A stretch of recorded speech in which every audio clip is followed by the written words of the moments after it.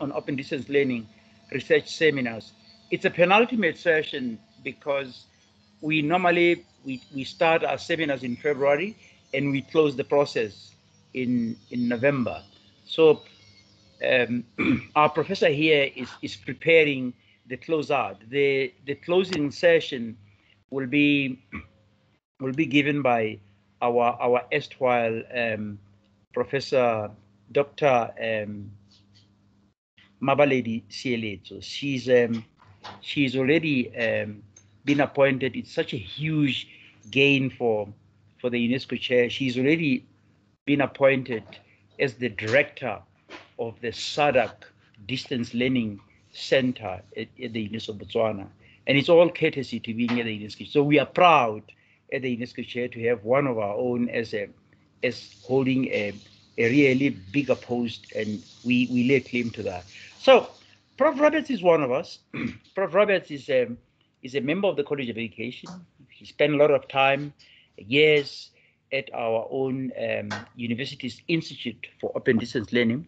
So we have in our midst really one of the, the celebrated professors who has done magnificent, real, lot of good work in, in ODL. Um, I always find myself bumping into Prof. Roberts in, in, in the in the international conferences, sometimes without knowing, hey, Jenny, is, is that you? Hey, Moeketsi. And this is the way we are. So as we move around the world to share our work and disseminate our research, Prof. Roberts is one of those people who is in the forefront of research in the College of Education ODL. So for me, I don't even need to read your CV because it's something that can take us a whole day just to say this is this is my colleague, my partner in crime. We are we are it's it's myself, it's Professor Geesje van den Berg, she's here, it's Professor Magwe, it's Professor Sidney Ngubane. In the in the College of Education, we, we are the, the, the people who are driving the, the ODEL um, research. Well, um, there are others that shouldn't think that their efforts are being undermined. So we have in our midst really a very seasoned person, a very one of our few established scholar or scholars of of, of global presence, and uh, um, she's here to share with us experiences in research. And in a sense, Prof. Roberts, um, this is an opportunity for you to to challenge us, to to get us to think critically and more introspectively, and to really be be more candid about the things that we are observing around us.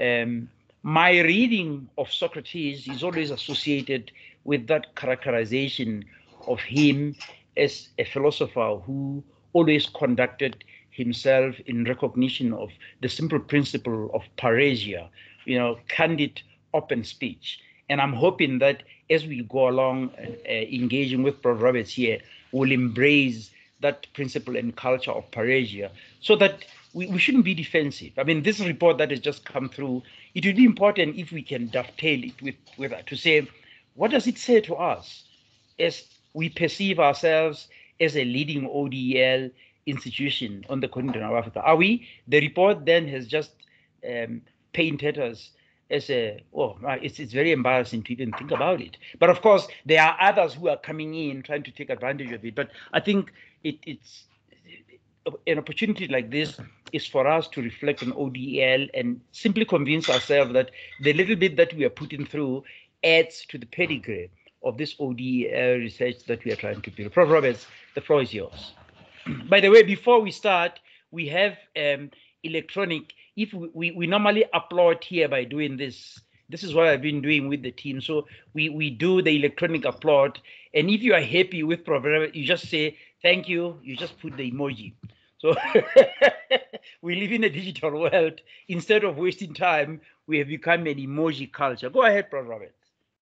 Thank you so much. Um, and and first of all, thank you so much for your, your introduction and also for inviting me. Um, it really is a great privilege to share. I think as researchers, very often we're so bogged down in our own research and the important thing about research is that it needs to be disseminated, it needs to be purposeful and useful. So I really welcome this opportunity to, to talk to everyone today. Um, may I just check to see if my slide presentation is up? Can you see the first slide? It, it, it's all here, very clear. Okay.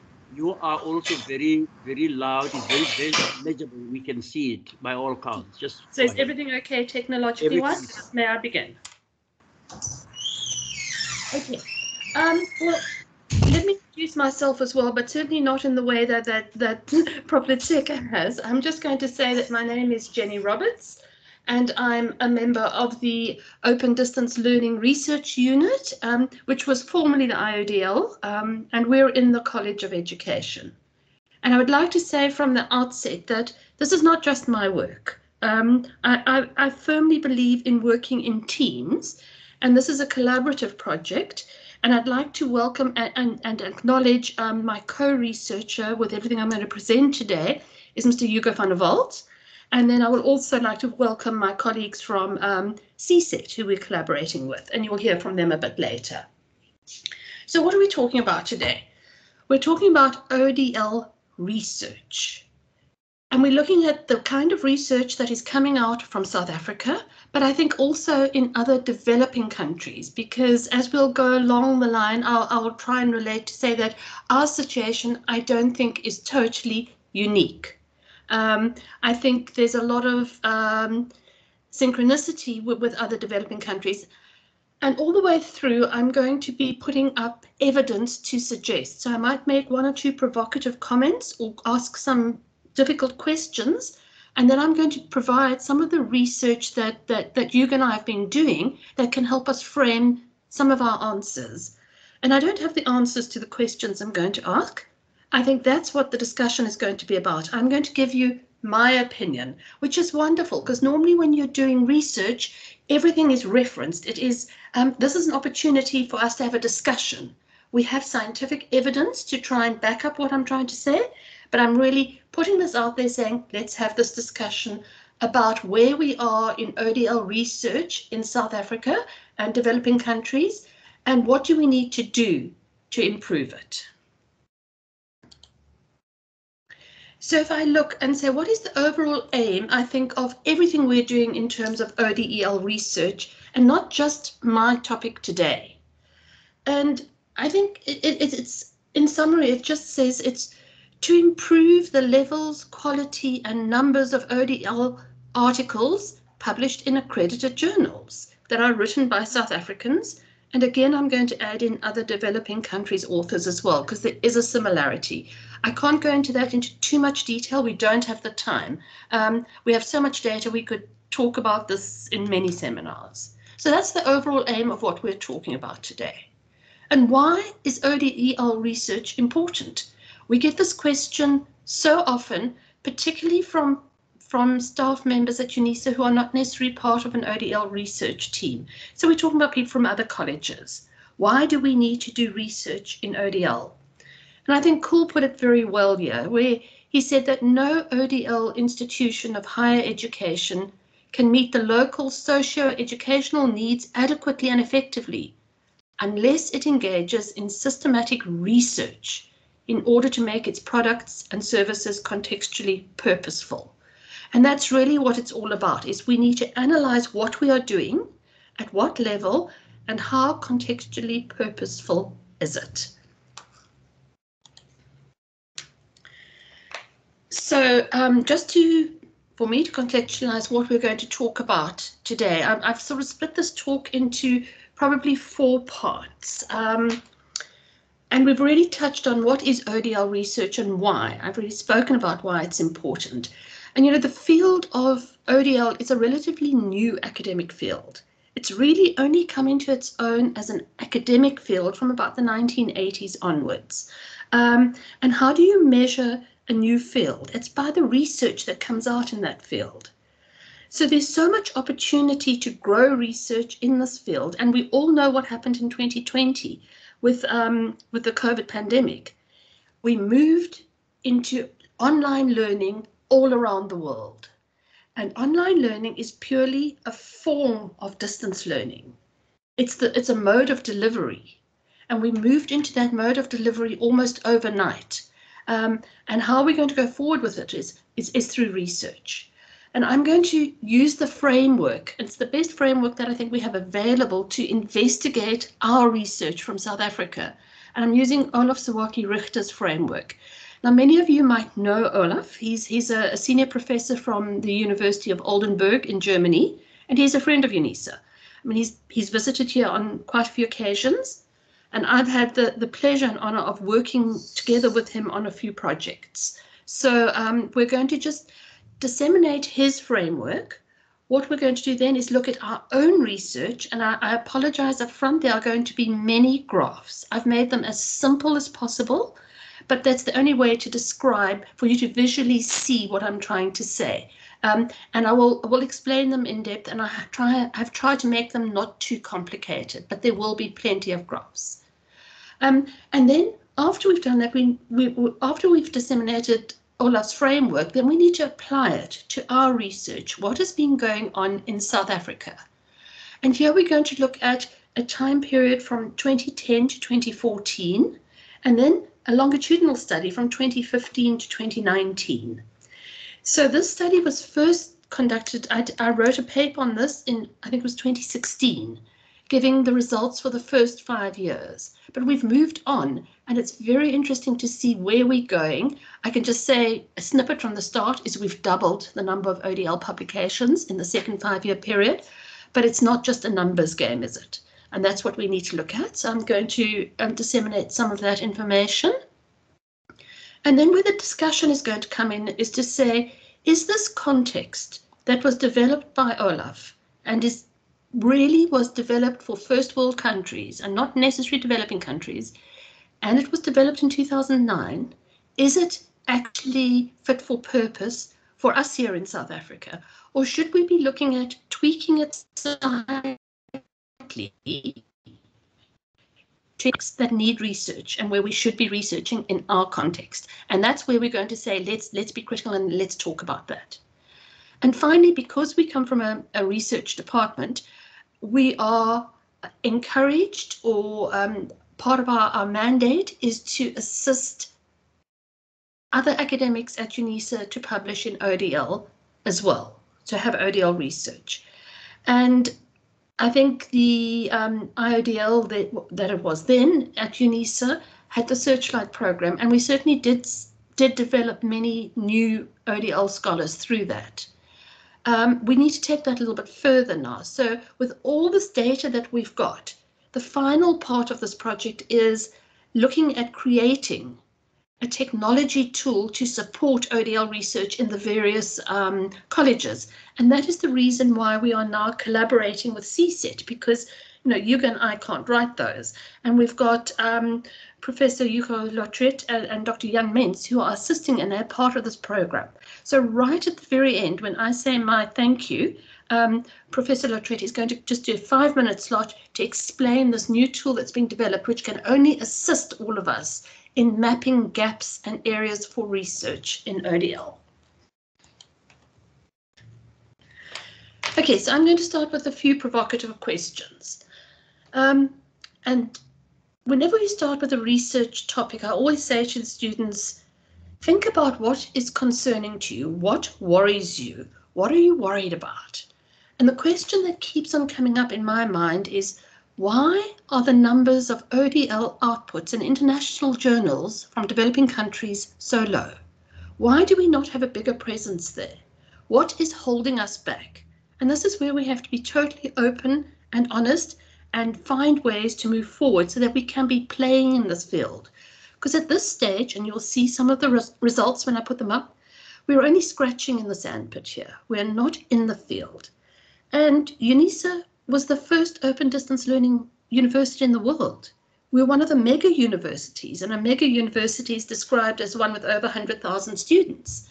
Um, we should be leading the ODEL research in the world, but we're not. So let's put through a few hypotheses as to why not. And this is from my opinion, and this is this is really how I'm feeling. And please, I would want you to add to it. But one reason I've said there is that maybe we're not context specific enough. Or in other words, maybe our context is not of interest to the international community. Now, I find this very sad because I will go on to talk about developing countries and the numbers of students, etc.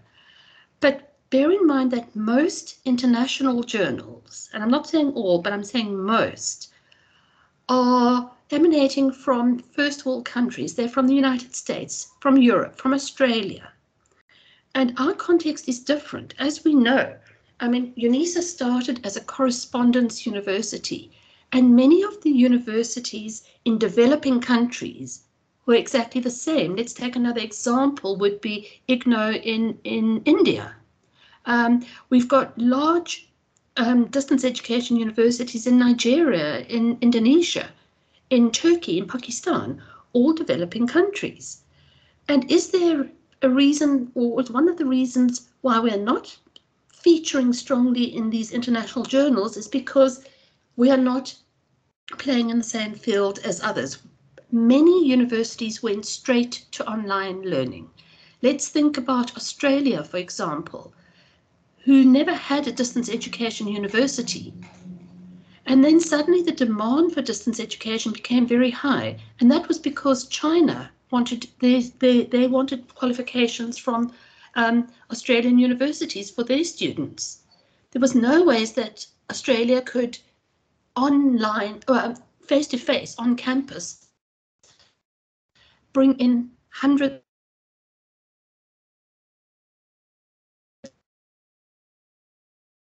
universities in Australia started offering distance education courses. But of course, they didn't go into the correspondence mode. They went straight into technology. And their infrastructure challenges are very different to those from ours here in South Africa and other developing countries. So the first hypothesis I've got is that maybe what we're researching is not context specific to um, to areas that are not developing countries. Um, the second one, and, and we have to put it out there, is is our quality not good enough? Are we not being published in international journals because we're just not good enough? And I, I would be hesitant to say that because that would be a very sad reflection. And I know that we have many highly qualified and competent um, researchers, but we need to look into this and say, is that another reason? And then the third one, and I can only give anecdotal um, evidence here, is editorial bias. Do the editors not want articles from developing countries? And that's a, that's quite a harsh question to put out there. And I'm going to just give one bit of anecdotal evidence. Is one of the um, editors of one of the top journals in distance education, who I do know quite well, and I had this conversation with him, and he was honest. And he said to me, and these were his words anything that comes from South Africa lands up in the bin. I don't even look at it. And that is really frightening. And when I asked him why, he said because the quality is not good enough. So what they're doing is they're filtering out everything from South Africa and not even taking anything into account. And I think here I want to use an analogy. This is definitely like throwing the baby out with the bathwater because we know that we've got some top researchers here. Um, but let's look, at example, at what has happened in South Africa with um, with COVID and the vaccines. And I think it's the same thing. The UK had us on their red list when, when our number of infections was minuscule compared to theirs. And the overarching idea was anything coming from South Africa is not going to have been tested properly. And we were blamed for the um, for the incidence of the Delta variant, for example uh, well, it's South Africa, there's so much um, corruption, there's so much this, nothing good can come from South Africa. Yet it was the South African researchers who identified the Delta variant. So we've got some cutting edge researchers in, in medicine, in the medical field, yet we were still put onto that red list. And I think that might be what's happening with editorial bias as well. Editors are saying, look, whatever's coming from there, it's not good enough. So we're all being tarred with the same brush. Okay, so I've, I've made my opinions and my thoughts clear, and I'm going to be really interested to hear what everybody has to say about that. And I'm going to borrow from Prof. Letseka because he's put it so succinctly and, and, and carefully. Why are we doing this? And you know, if we look at UNISA's innovation strategy, we are supposed to be a leading research university. We are mandated to produce ODL research. This is why it is important. Um, and there is a demand for knowledgeable, highly skilled and highly qualified ODL teachers and researchers. And also, he stated that there's a burgeoning culture of ODL research at UNISA. However, and this is the caveat, he says, given UNISA's size as a mega university, its research presence in the area of ODL is neither visible nor impactful enough. Now, I'm going to challenge that slightly and let's look at the actual facts and figures and let's decide are we visible and impactful? My argument is we are, but not nearly on a scale that we should be on. I keep talking about South Africa as a developing country. Um, I don't have time to go into a lot of detail, but I'm not just lightly saying we're developing countries. There has, there are, there's evidence um, that is used to to suggest whether a country is developing or not. And for this reason, you would look at the World Bank Index, you would look at the Human Development Index, and the, the Gini coefficient. I've done all of that, and um, according to them, here are some of the developing countries, and this is according to the IMF. This is not all of them by any means. I've just put up ones that I feel are important because these are countries where there's a large presence of, of ODL institutions. And I thought it might be quite good to compare ourselves to some of the research coming out of these countries. And you'll also notice here that the, the five BRICS countries are all classified as developing countries. So we see we have South Africa there. And importantly, we've got Brazil, China, and India, and Russia there. We also know we have a, we have a large number of distance learning institutions and um, students in Turkey. We have in Egypt, Nigeria, etc. So these are sort of the country, the developing countries, and you will find that the top 10 open distance learning universities in the world all come from developing countries. So that's IGNOU, it's NAN, it's um, Terbuka, it's UNISA. I think we're about number 10 there. Okay, and here's another interesting fact. You know, according to the World Bank, more than 80% of the world's population live in developing countries, and that includes Africa, most of Asia, Latin America, as well as Russia. And that over 50% of higher education students in the world come from developing countries. So if we're looking at the international journals and saying that they're, possibly not pushing research or, or encouraging research from developing countries, I think that's very short sighted because we're saying that over 50% of higher education students in the world actually come from developing countries. Um, so let's go back. I'm going to just reiterate my questions and, and maybe they're now a little bit more context specific and I'm really thinking about developing countries here. Is our research not specific enough? Are we? Are our themes incorrect? Are we looking at themes that are of no interest? Because if over 50% of students you know, come from developing countries, it should be of interest. We don't know about this quality, and that's something we have to address. And is there still editorial bias, and, and how significant is that? Okay, so let's put in context. And I'm going to start with a very easy slide, not slide, but just a, little, a table before I get into the, the actual slides.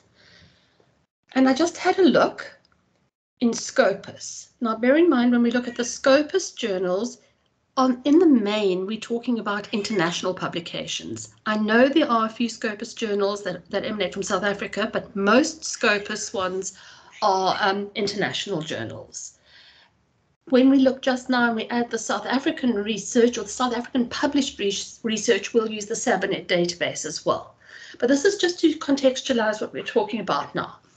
So using the search criteria for distance education, online, ODL, etc., we looked in Scopus, where at least one author was South African, and journals that have already been published.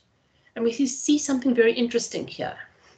In 2018, we had 27 articles out of 680. In 2019, we had 39 articles out of 769, so probably a similar percentage. But look what's happened in 2020. We only have 26 articles out of over a thousand. And my first thing is to say, why? What's happened? And here, the only reason I can think of, and I want to go back to that editorial bias, is that I can understand why the world numbers almost doubled because of the COVID pandemic. Suddenly, people were, all universities or higher education went online, and there was obviously far more research coming out that way. What I'm talking about here, what has already been published. So what has been published is not coming from South Africa. We might have many articles that we have written, and I have no doubt, and I, I am aware that many researchers have written about ODL since uh, the, the pandemic, but they have not yet been published. So we are saying worldwide, their articles are being published much sooner than ours. Okay, let's have a look at this and look at the developing countries. And in this slide, wherever there's blue, it's for 2019, and wherever there's green, it was for 2020. And again, we're only looking at Scopus published ODL articles in 2019 and 2020. And as expected, leading the pack is the United States of America, and that makes the most sense. And you could see in the first column there, they went from 201 articles in 2019 to 334 in 2020. So they didn't quite double, but there was an increase in journals. And the UK, although I thought there might have been more, they showed an increase as well. But let's look at where all the arrows are. And the arrows are pointing at developing countries. And I would go straight to South Africa, just the sort of the orange arrow. And we're the only country besides Russia where our ODL publications dropped from 2019 to 2020. Again, I want to clarify and say I don't think we didn't write them, they just have not yet been published. So what has been published predominantly has come from um, developed countries. Have a look at Germany there in the middle they more than doubled their publications. Um, Italy came from no publications to 25. France more than doubled their um, publications.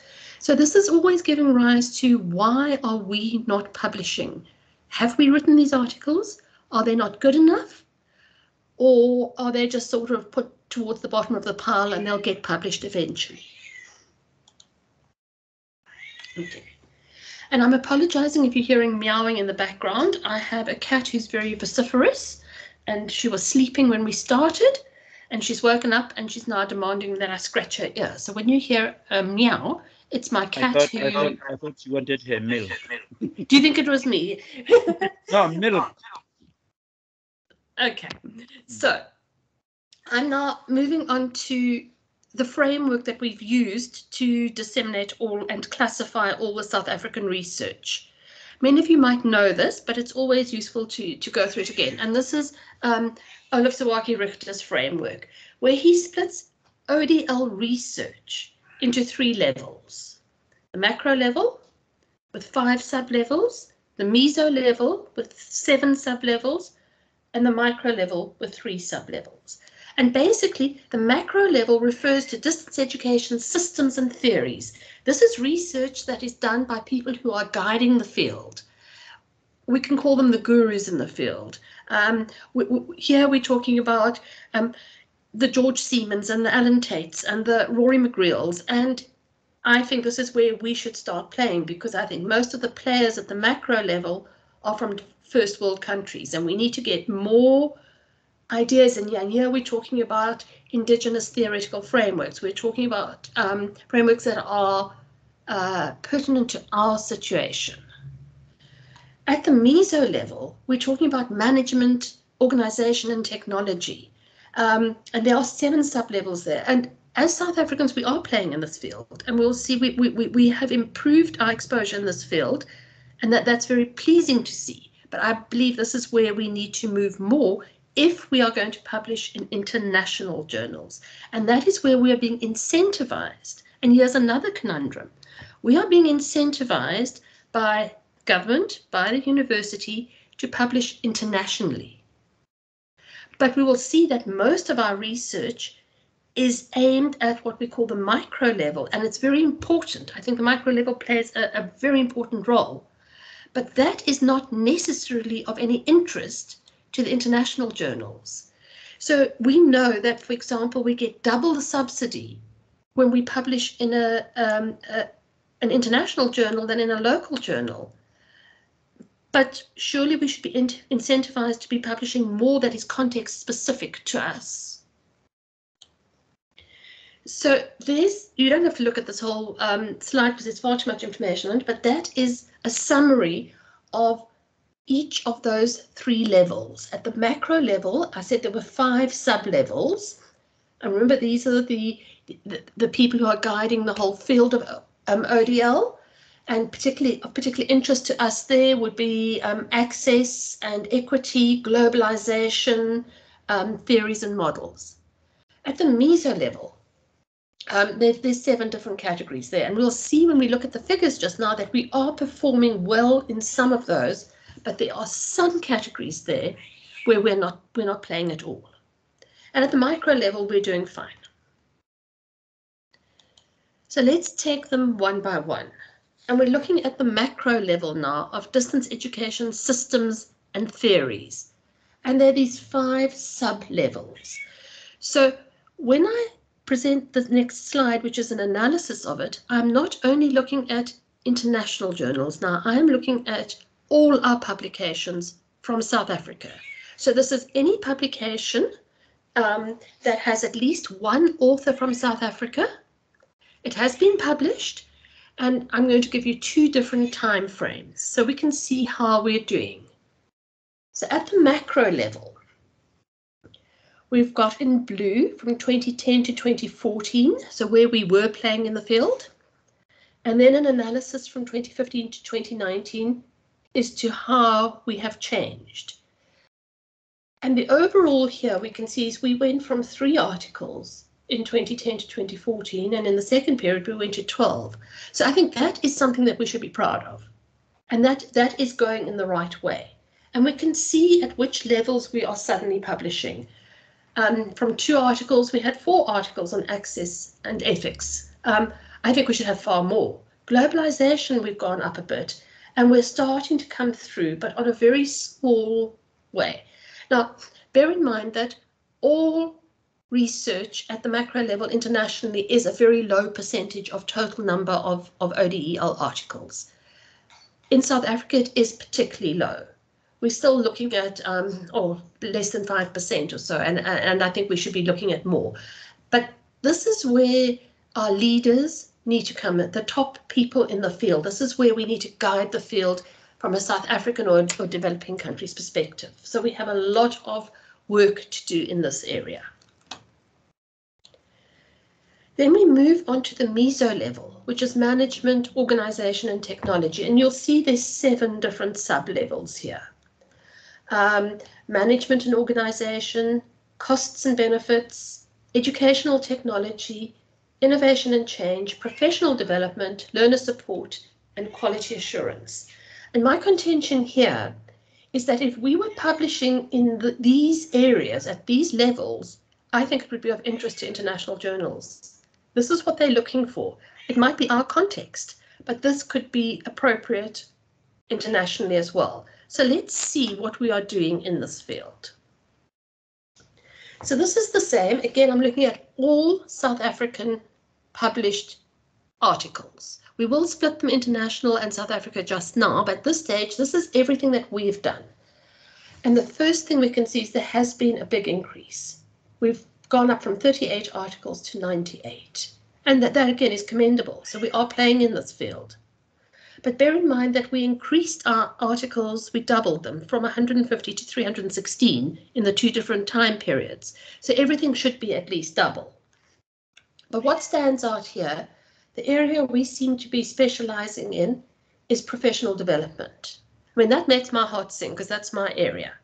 Um, I would just caution here, though, that there are only a few players who are publishing a lot. And I think here of um, an ex-UNISA um, Professor Adele Bezuidenhout, is she's working very much in this area and publishing publishing prolifically, still associated with UNISA.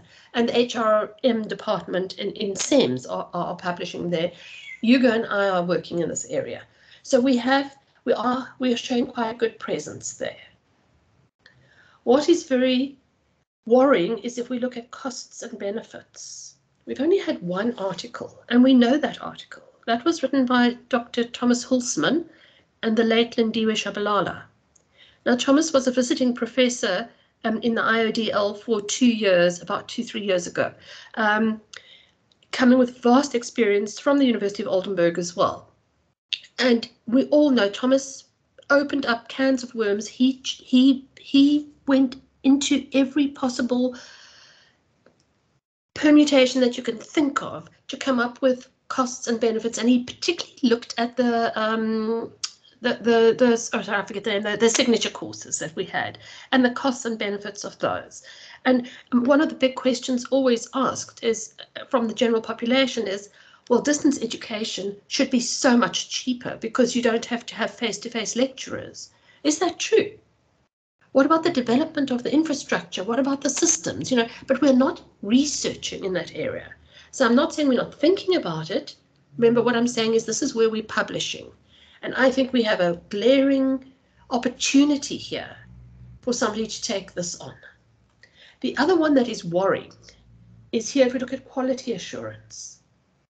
I'm not saying that our quality assurance isn't good. I'm saying we're not publishing in this area. I do know that there are one or two people in CETU who have recently done PhDs who are working in this area, and that the, that research might come through because remember this went up to 2019. But I think there's a lot of opportunity there. And then it's um, interesting to see management and organization because I think from about 2015 or round about there onwards, UNISA tasked the professional staff to start um, uh, publishing ODL research from their perspective. And you can see they took that on board and suddenly we had a bit more coming through there. I would say I'm not surprised that innovation and change, it has jumped, but we know UNISA is a very large animal and it's not easy to institute change. But this is where we should be leading change research. And then the only other thing I want to say about this is I've done research from other developing countries as well to see how we are comparing with them. I can't present that all today because certainly there isn't time, but I would just like to say with the research I've done from India, at the meso level, we're fairly similar percentage wise. We're doing the same kind of percent at the meso level that they're doing. But within these sub levels, they are very different. And their number one, where we sitting here as professional development being what we're doing well at, they are in the space here, educational technology. And I think we are failing here. And why is that? I mean, India is a very, very poor country. I, I, I haven't got the figures in front of me, but I would be quite confident to say poorer than South Africa, if that is possible. They have a population problem there, you know, with 1.3 billion people. I've been to India on numerous occasions and I've seen the abject poverty there. Yet in amongst all of that, they have the technology. And we all know that, that anything to do with technology has been outsourced to India. So I'm not surprised that their research on educational technology is much more prolific than ours. And then we move on to the micro level, and that's teaching and learning in distance education. And this is where we are playing very strongly, and most of our researchers. Um, but that's not wrong, because that's what's happening all around the world. Your learner characteristics, instructional design, interactions and communication. This is very pertinent and it's very context specific. So I think it's right that most of our research is coming from here because it needs to be context specific to us and particularly at UNISA. So if we look at the results here, um, we can see that we've doubled our research numbers in this area. So we've gone from 101 articles to 206. And specifically instructional design, and that's very pleasing. Learner characteristics has also jumped tremendously. And I think I just want to caution here that, in my opinion, traveling regularly overseas, obviously not since COVID, but being exposed to the research that is happening in Europe, in Australia, in Canada, learner characteristics have almost um, been done. And I know that editors aren't really interested, but I also know how important this is in our context because if we are challenging academics in other departments where their speciality is not distance learning, and that's most of the academics, to, to publish on their teaching, it's going to be in these areas. So I think we must continue doing it. We just have to be able to find where can we publish this locally that it's going to make the biggest impact, or at least in journals where the developing countries can benefit from it too. Okay, I'm going to take a one minute, not a one minute, 10 second sip of water as we move on to, to wrapping up what has happened according to Olaf's framework. And this just shows us where we are. So from the macro level, we've increased. As we said, we've gone from three articles to 12. The meso level has increased threefold as well, and the micro level has doubled. So we are definitely playing in the meso level. And I haven't put a slide up here, but I'll just tell you about it. When I did the first research in 2016, I had a slide that showed with our international publications what levels they were at and almost 90% of the articles that are published internationally come from the meso and macro level. In other words, the international um, editors are not looking at micro level publication in their journals. And again, I want to put, put it forward that we should be having that in our local journals. And we will see just now when we look at our local journals where the challenges lie.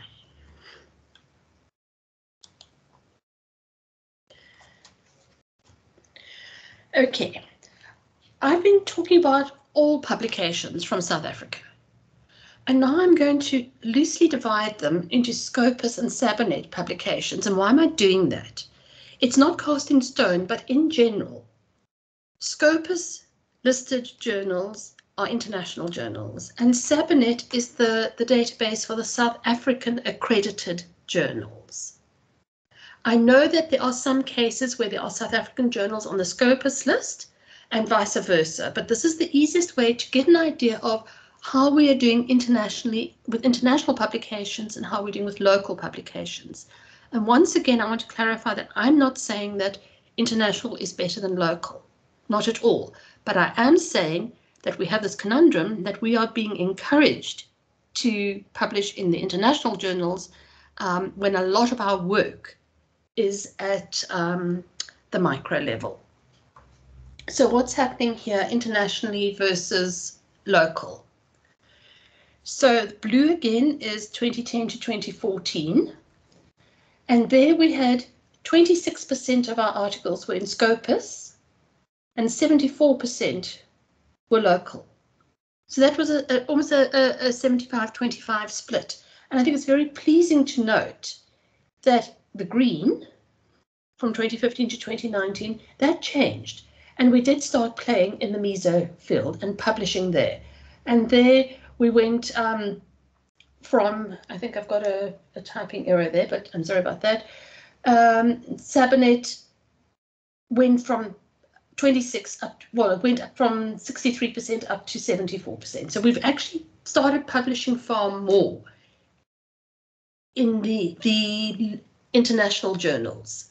So as you can see there, of the total 316 articles that we published, 198 were local and 118 were international. And that 118 jumped from 39 to 118. That was a big jump. Um, obviously, it's in accordance with, with an extra number of articles, but we are starting to play in this field. And now I think this is probably the most interesting slide of all, and I'm sorry that it is the busiest one, and I'll take, take you through it slowly. And the question is, where are we publishing? Which international journals? Which local journals? And the difference. So what stands out very strongly here is Progressio. Now, Progressio is the only dedicated distance education journal in South Africa. And you can see the blue bar, which was in 2010 to 2014, we had 63 articles from um, South African authors published in the journal. And we see this dramatic drop to 37.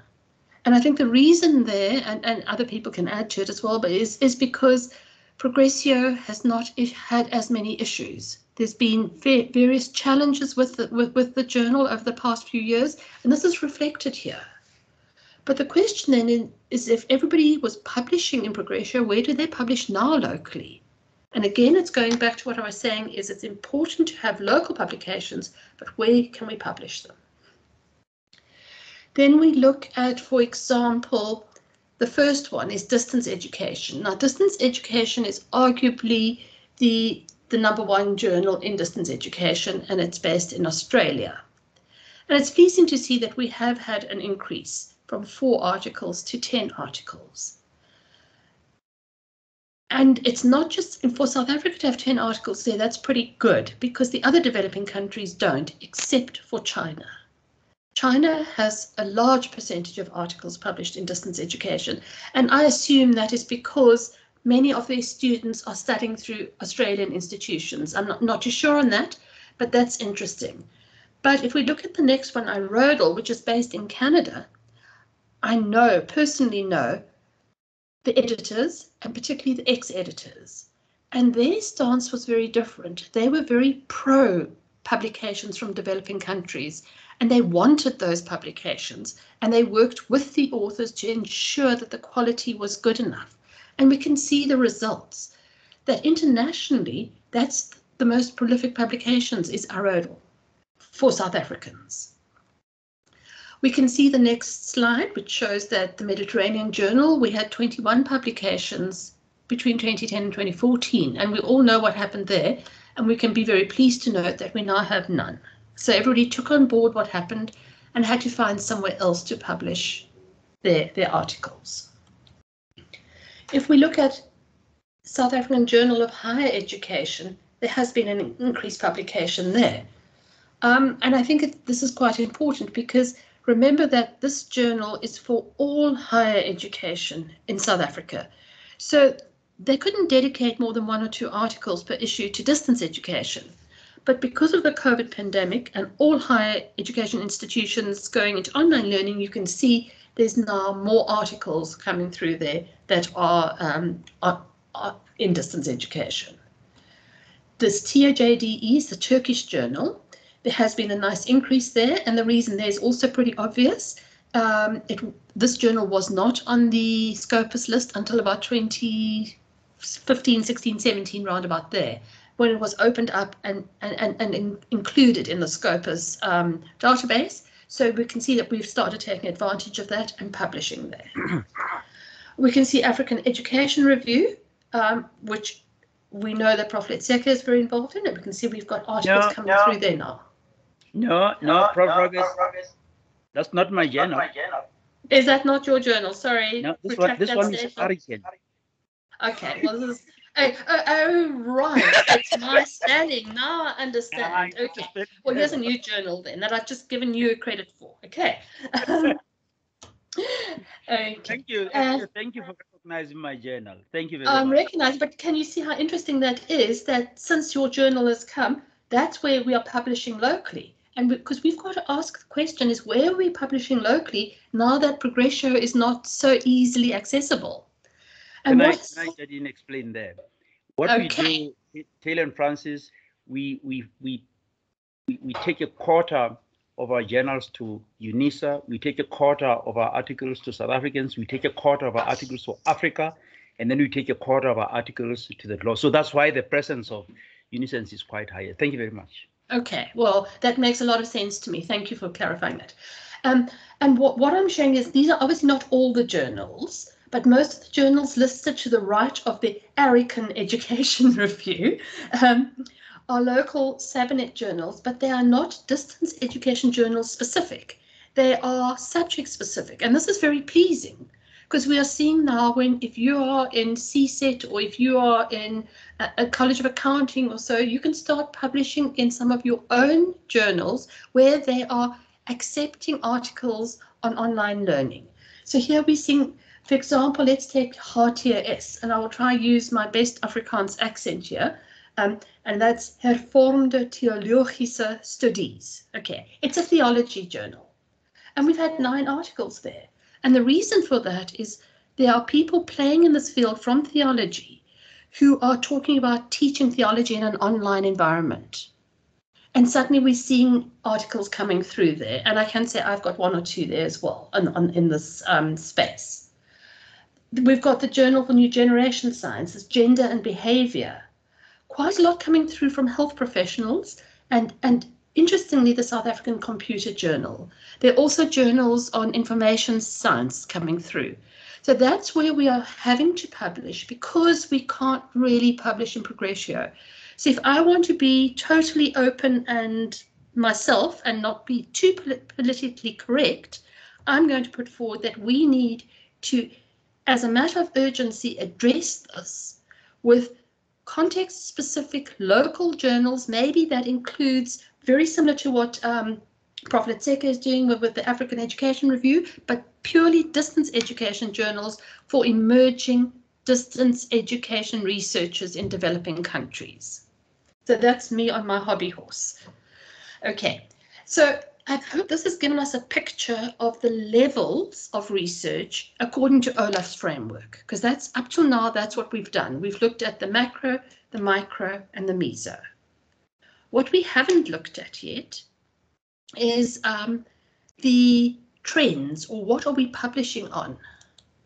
And is a nice, confusing, pretty little picture that looks like a whole lot of bubbles or balloons. And I know you can't see it clearly, and that's not the, the object. I'm just going to go through it very briefly and explain. This is an analysis we did on all the articles from 2015 to 2019 using the Leximancer tool, which is a data mining tool. What we did is put all the titles, keywords and abstracts, and it basically does a content analysis and sees which words come out. Now, I will tell you what they are, and the size of the bubble is dependent on how important or the number of hits that you've had with those words. So what is coming out strongly is distance, education and learning. And I think we should be very grateful for that, which means that the articles that we are analysing and writing are within the broad framework of distance education and learning. But what is a little bit more um, concerning is the smaller bubbles. And look what's coming in the smaller bubbles. This one here says online. This one says digital. And there's another one here, this one, that says technology. So we're, we're, we're scratching in the sandpit as well, but we're not really at the forefront with that. And um, Som Naidu, who is the uh, editor of Distance Education, and Olaf himself, they did a use this Leximancer tool to analyze all these trends in, in the journal Distance Education. I think they published it in 2016. And they did five-year trends to see what are the most topical areas. And I did that as well for the South Africans. And what I found was that in terms of the trends, we are running about five years behind. I alluded to that with the um, uh, learner characteristics. It's been done. So in the international environment, they're not really interested in that. They would be far more interested in these the new technologies, this online and and uh, and the digital space, and we're not really playing there yet. Um, to make that slide just slightly easier, here it is. We can see the number of hits and the importance of each of the words. And here again, you can see the most important, we're talking about learning, education, distance, students. We're on target. That's our articles are there, but we're not talking about this digital and technology. And where in here are we seeing things like MOOCs, like OERs, like other items which I'll go into just now that are trending internationally. And I don't think our context should exclude us from, from, from researching in those areas. Now, again, remember, this is all our research, and this is these are the areas that we are researching in. Okay, so with all of that, I know I always tell my students don't put too much text up, so don't look at all the text. Um, what are we going to do with it? Look at the purple. We really believe, and that the overarching aim of the study was developing a framework for ODL research within the South African context and developing countries context, not just simply to use what was done by the global north. So the Olaf's framework to me works very well, and I can I've, I've tried with every article I've ever published, and I would challenge everybody here to look at all your own articles and try and see where it fits within OLAF's framework but I do feel there's scope to maybe tweak it a bit to make it more contextually specific to us. And I'm going to just give you some ideas in one of my final slides just now. Oh, in the slide here. So where are our research gaps and our opportunities? Again, this is me putting it out there. This is what is open for discussion. I think we would double this if everybody else got involved. So I'm just giving my perspective. First of all, I'm going to look at the meso level, and, and I've already said this. I believe there's a lot of space for developing indigenous theories and models that work for us in South Africa. And under research methods, I don't see anywhere in Olaf's framework about collaborative research, this concept of Ubuntu. What about um, joint PhDs? I've got a, a young lady who was a research assistant to me, and she's now doing her PhD at a university in Germany and she's part of a project. I think there's 13 of them from all over the world, mainly developing countries. And they have a senior professor in charge who is running the overall project, which is on personal security in online teaching and learning. And each student has their own specific area, but they work together. It's a collaborative PhD, but at the end, each one will do their own. And is that not more the, the feeling of Ubuntu that we should be looking at here in South Africa, we are still doing our PhDs the same way that we've done them for many years. And I know in Europe, this, this is changing. So that's just a thought. At the meso level, we've spoken about this, and I think we've got opportunities and gaps in, in, in most of those areas, particularly with costs and benefits and um, quality assurance.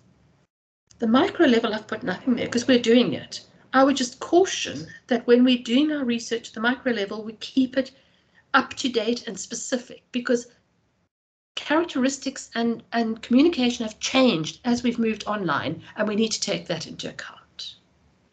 And then I look at the side, and this is where I was just playing around. What are the areas that I notice from all my overseas um, travels and conferences, and I'm talking about the ICDE conferences, the Eden conferences, which is the European network, um, and many of the others. What is coming up? What are the, the themes that are being presented there, and themes that I think we're not even touching in our research? Um, I'm going to put for the first one here is OEP and OER, so it's Open Educational Practice and Research. Now, I'll, I'll, clar I'll clarify and say I know we are working, there are people working in this. We have Professor Mpine Makoe, who's, who's the co-chair in this. But at this stage, we're not producing enough. This should be the, the forefront of all our, our research. So I'm saying there's space here for research. I'm not seeing very much on MOOCs. I know UCT have done quite a bit, but bearing in mind these are publications in Scopus and SABINET journals, which we are encouraged to publish in. They have a more open um, scope for where they publish. So they are publishing, but not in Scopus journals. Where's our research on artificial intelligence? What about badging and accreditation? You know, online learning pedagogy states that you should be chunking your your your presentation. So we're not giving big presentations. We're chunking. We're going into small chunks, and we need to have accreditation for small chunks because then it might be more durable. And this is there's, there's a lot of research in there. Gamification has been around for ages. I went to a conference, a distance education conference in New Zealand, and I think it was about seven or eight years ago. And the, the, main feature, of the main debate was on gamification. I know a lot of us are using it in our teaching, but we're not researching on it.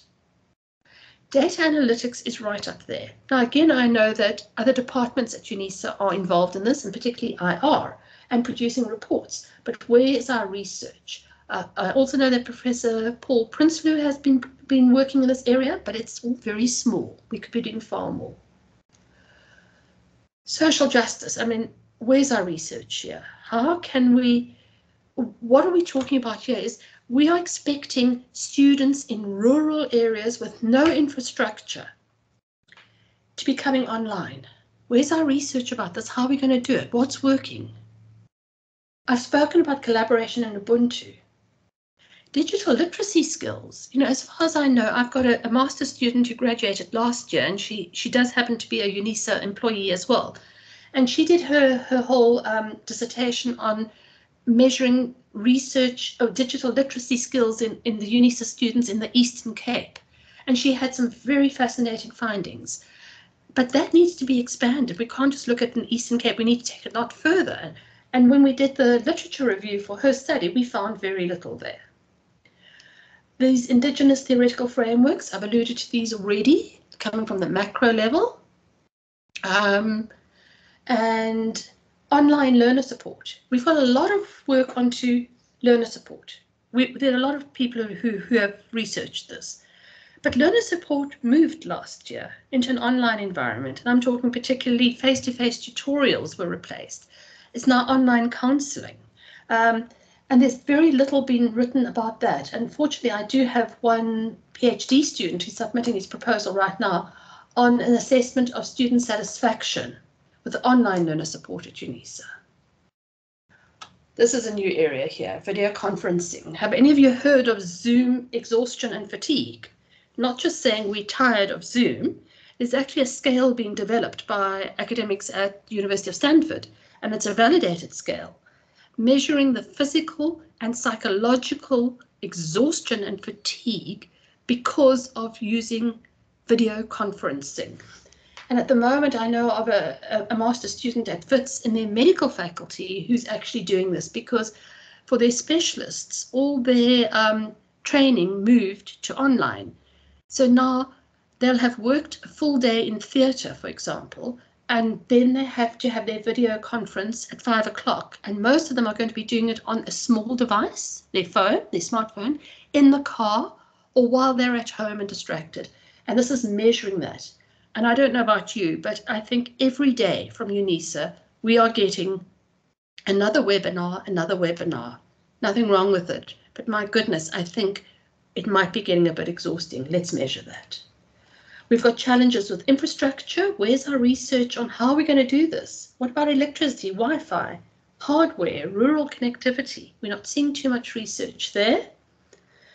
And my big bugbear is this one. It's the under preparation of students for higher education and the associated challenges within the basic schooling system.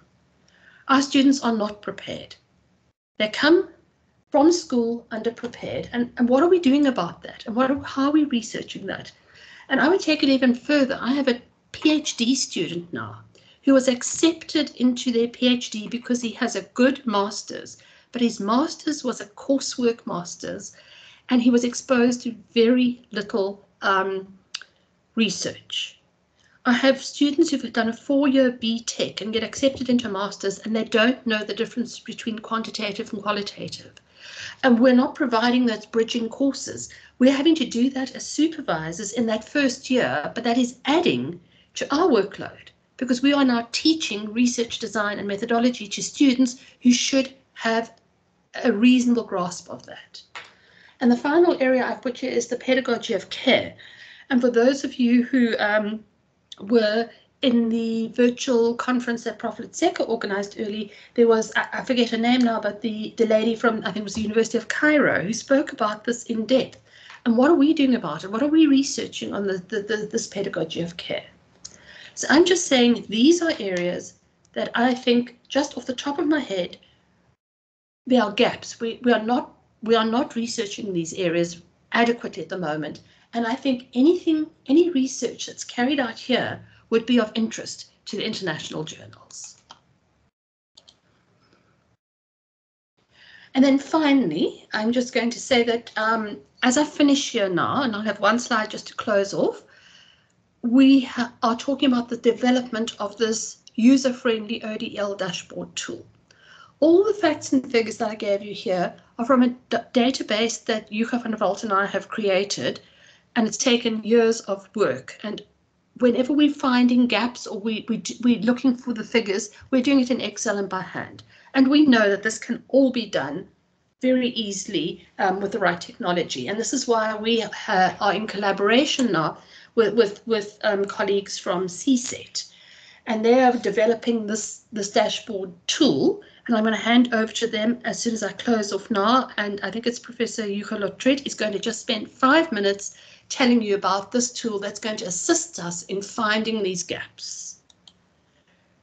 So to end off, um, just to wrap up what I've been trying to say is, who are we? All of us here are ODEL practitioners. Why are we here today? Why are we listening to, to, to a presentation about ODEL research?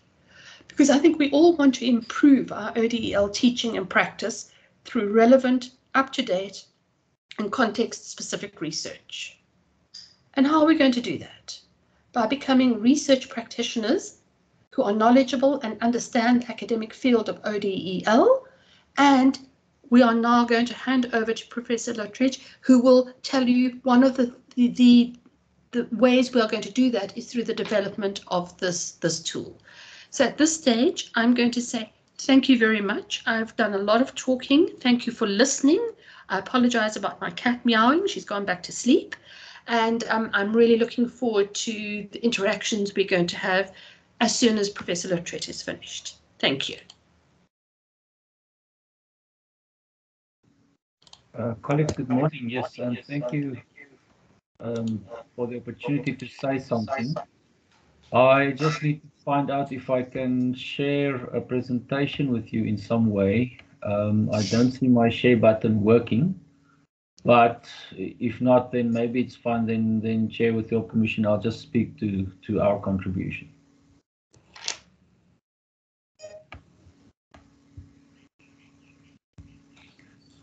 Okay, so just uh, in terms of of of CSET um, and the collaboration we're having with IODL, which makes us very excited. Um, let me just also do this. Then you can see who's, who's speaking to you.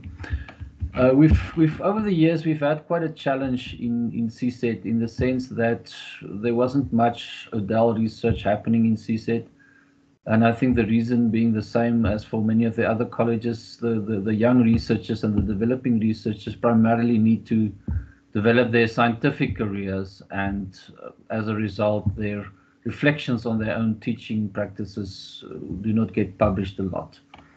So, so it is a challenge in our college that there is is a limited output of of ODEL publications. The other thing that we realized as a need in the college was that our teaching and learning needs to be informed also by scholarship in the area of, of ODEL. And so originally under the leadership of Professor Gugu Moche, um, we started thinking about how we can address all these issues uh, in CSET. And we came up with the idea of a flagship that focuses on a specific aspect of, of ODEL, and that aspect would be scholarship of tuition and learning, or SOTEL. Um, and unfortunately, Prof. Moche has left us, but the idea was was strong enough that the idea is ongoing and recently the the application for a Sotel flagship in CSET was was was was lodged and we hope that there's going to be a positive outcome. And the idea of the Sotel flagship is indeed that we will push the knowledge generation around adult teaching and, and learning in CSET for the benefits of society, but also for the benefits of, of improved scholarly tuition and learning practices in the college. And so the, the collaboration with IODL then is under the banner of this flagship, which hopefully will be approved very, very soon. And obviously the idea is that we bring aspects into the collaboration that we're excited about. And us being a college of science, engineering and technology, um, those are the aspects that we're specialists in, and hopefully those are the aspects that, that we can can contribute on. And uh, I like this new framework that that uh, Prof. Roberts proposed just now because I see quite a lot of technology in there. Um, and obviously technology is always in service of humanity and obviously technology is always highly contextualized but I did like seeing stuff in there about MOOCs and about all kinds of aspects of, of technology and I'm sure that CSET can can indeed come to, come on board in that regard. If we look at the the project that that um, Jenny and Hugo basically drove for the past five years, they've done, as you can see, an incredible amount of research. And it's very useful if you think about it from a um, developing researcher perspective. So if a young researcher comes into the Dell space and wants to do some research, let's say in a science, engineering, and technology environment, um, the kind of information that they've gathered over quite a number of years now is quite useful in terms of saying, well, I'm interested in doing this kind of research at this level. Let's see what exists at that level and where it gets published and then surely that will help the, the young researcher to become aware of what's available and to position his or her research in that context. And so the idea, uh, and it originally started also with, with Jenny and Ihu, but, but uh, Jan Mentz, my colleague, and I, we're quite interested in seeing how this thing can develop. The idea was to say, well, can't we use technology in some way to to facilitate the, the usefulness and the accessibility of the, the, the, research information that was, was gathered in this way? And can we provide some kind of, eventually, hopefully, some kind of almost a research awareness platform where especially developing researchers can in some way use technology to hmm. interact with the research information and to in some ways, let's call it play around with it or manipulate it and to get very clear and interesting maybe indications of the status quo of research in, in their specific space. Uh, and this this might be then very useful in terms of of um, of uh, very quickly uh, focusing in on one's own research interests. And so to do that, obviously one would probably start with some kind of a technological tool without being more specific than that and then see how it can develop as a system and whether people then adopt it and use it and find it useful.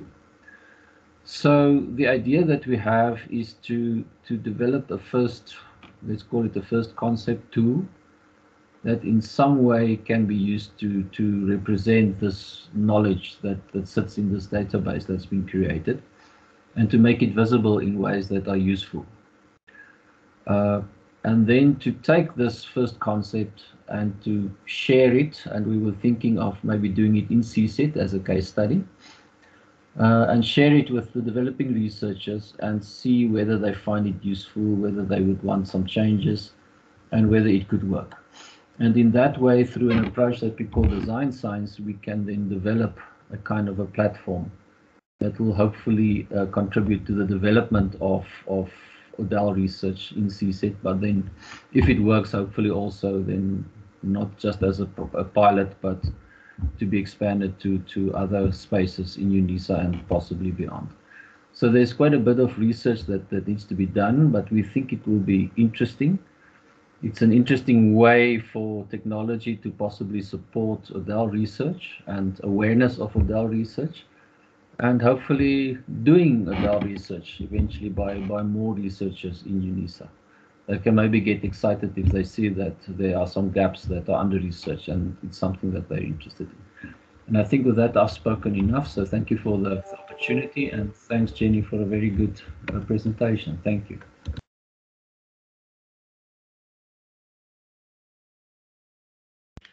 Thank you.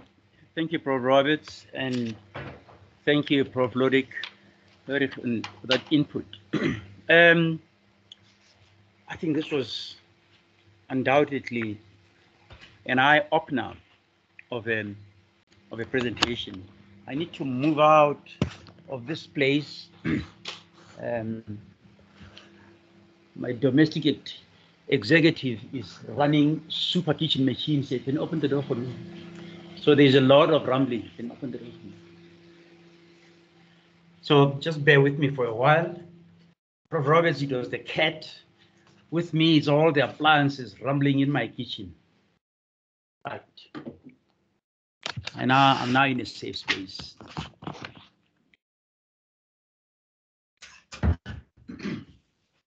Right, thank, thanks a lot for that. Um, and um, Prof. Roberts, thank you for for putting me on the spot. but that's I think that's the nature of scholarship.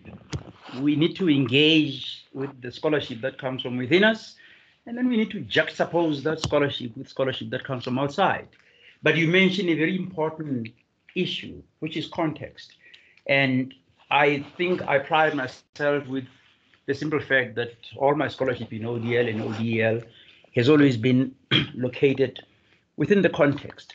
I I got my temperature really running when you you spoke about um, editorial bias, um, and it's amazing that um, you ended up praising one of the editors of IRRODL for being receptive to particularly South African uh, research and discourses. Um, but I had a I had a very unsettling experience. I don't know if you attended the ICDE conference. Yes, I think you were there. That was held in Toronto. You were there, Prof. Roberts, because I know there was a whole team from ODEL that attended that conference. One of the sessions there was chaired by Professor Paul Prinsloo, and it was a session um, on editors. It's Prof. Prinsloo was surrounded by editors, and I think IRRODL editor was there. There were lots and lots of editors from around the world in ODEL journals. And the idea was for them to share with us what is it that they publish and why. But I remember vividly the, the editor of IRRODL, a female, you'll know her, I won't mention her name, um, saying that with her editorial team, uh, when they they screen the manuscripts, uh, they they pre-review the manuscripts. The moment they they come across a, a manuscript that comes from the developing world and that noticeably deals with developing countries' issues, they don't waste the time on it because they conclude immediately that it's a manuscript of poor quality. I know that Paul picked me up. I was standing at the back. He picked me up out of that and said, Prophet Letseka, would you want to comment on that? And I was furious. I was furious with that comment. I took that editor to task and said to her, no, scholarship is not regionally located. Scholarship is scholarship. If you then um, reject articles because of the presumption that articles that come from the third world are of poor quality, that is, I told her that that that to me was colonialist and it was a bias that they needed to look into. Well, she she then apologized. I think she said it came off wrongly, but everybody else agreed in the in the room that that's exactly what she said. So your your your your commentary and your touching on editorial bias it's potent, it's alive, it's, it's it's here, and I think we need to deal with it. We really need to do that. My my view that UNISA is not visible. The context for that was to say, again, you know, we brand ourselves, even Professor Makhanya, when he was our boss everywhere, I had the opportunity to travel with him quite a lot, and everywhere we met uh, scholars on a global scale, he always proudly announced that UNISA is, is the largest leading ODEL uh, research university on the continent of Africa. And, and that's that's the rhetoric that we have always been associated with. And what I wanted to say in that quotation that you cited, Prof. Roberts, was that, and you, you alluded to that, I do mention it in, in I think in one of my books, that UNISA is a mega university. Uh, by virtue of its status as a mega university. I mean, at the time when these debates were going on, UNISA was was having a student count just over half a million. We have had to cut it down to just over 400,000. Even then, that continues to make us a mega university. So on the basis of that and the perception that we are a leading ODL university on the continent of Africa, I don't think we are, as a university, on that cutting edge leadership in terms of ODL research relative to these other characteristics. And I think we need to be there. We need to be at a stage where research in ODL throughout the African continent, if we get our act right, it should be research that is really uh, that draws from the work that we do at UNISA. Um, we, we have just come out now, we, we, we continue to rank number seven or eight here in South Africa. We, we have never really reached the top five, and the question is why. I think we have the capacity, unless it is a capacity that, that is doubtful. Um, and Prof. Prof. Lotriet, um, I'm glad that you came into the picture because you and I um, have engaged a lot on ODL, and Prof. Ngwane is here. I'm not sure whether Prof. Makoe is here, but the three of us, and I'm glad you also mentioned Prof. Moche, the three of us have had the opportunity to interact with CSET um, a lot on, I, I remember we used to be treated to that wonderful hotel called Silver Star Casino and lots and lots of sessions, including the conference that were held in Mulder's Drift at that lodge called what Avianto. So I think there's been there's been a lot of groundwork, Prof. That's been done at CSET. What we need to do basically is is to ask ourselves, how do we consolidate that? I think um, I every time I speak to Prof. Meiwa, I always say to her, the, the, the colleges at UNISA that I think for me have done excellent as far as ODEL and in terms of generating awareness and in terms of putting proactive actions out there is, is CSET and the College of Education. Others can can can tell me if I'm wrong. The College of Education has been running over now, I, I think eight, ten years in Rome. They've been running this conference called Distance Distance Educational. Yeah, I think it's Distance Education at a whatever. It's a it's it's a conference that the College of Education holds on a yearly basis, and they choose a venue. But it's a conference that seeks to to to galvanize ODL. I said Drakensberg, I think they held it at the ranch the previous years.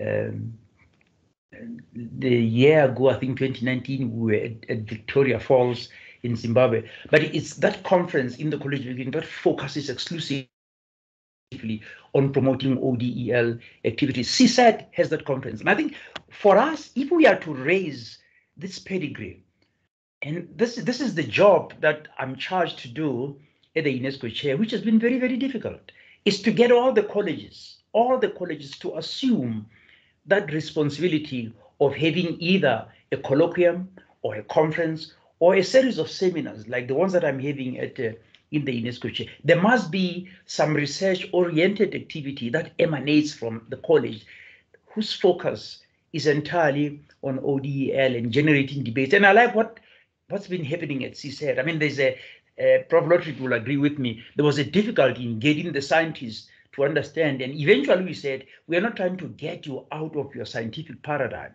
But like in theology, when you publish a paper, it's, it's, it's, it's, it's proper that there is a section that indicates that this research is conducted within an ODEL framework. You don't have to write like the Tait of this world or the, the, the the Brenda Gourleys or the Letsekas or the Mpine. No, but it's important that your, your research demonstrates, even if it's a science, it, it's, it's, it's science that's taking place in the ODEL environment. So yeah, but Prof, Prof Roberts, one of the, the things that you are raising here which is of cardinal importance to me, is the simple fact that in South Africa, we have only one journal that is dedicated to ODEL, which is Progressio. But you also know that Progressio has had so many challenges.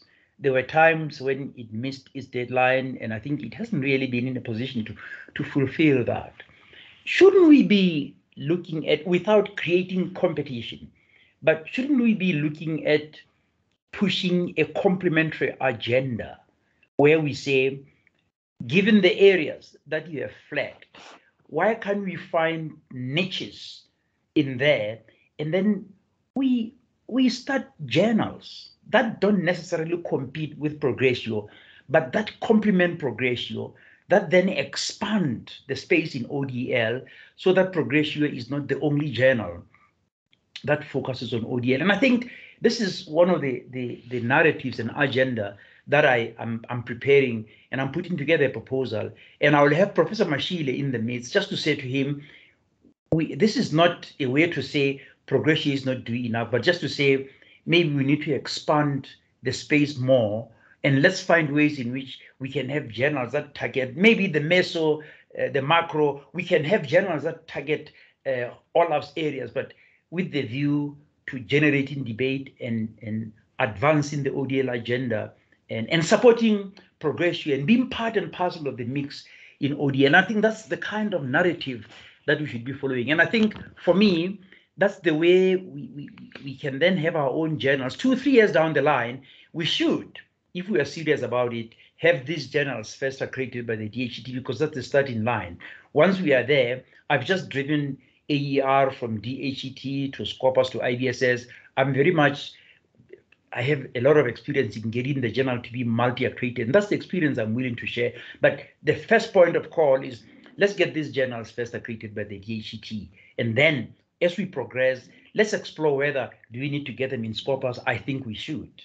We should get the journal. Now that we also have DOAJ, we need to see if we can get them into, into the DOAJ index. So the indexing has expanded more. And I think this is this is my take. This is what I wanted us to think about.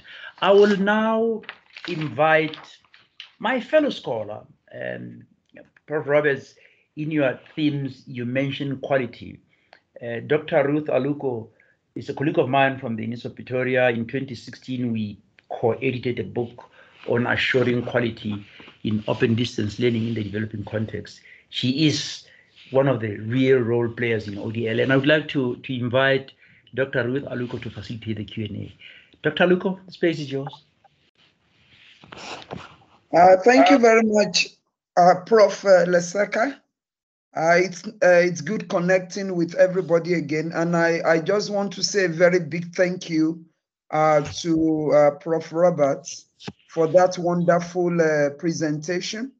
when Prof. Letseka gave me a call, I told him that uh, this is my best UNESCO chair uh, seminar or whatever name we want to give to it.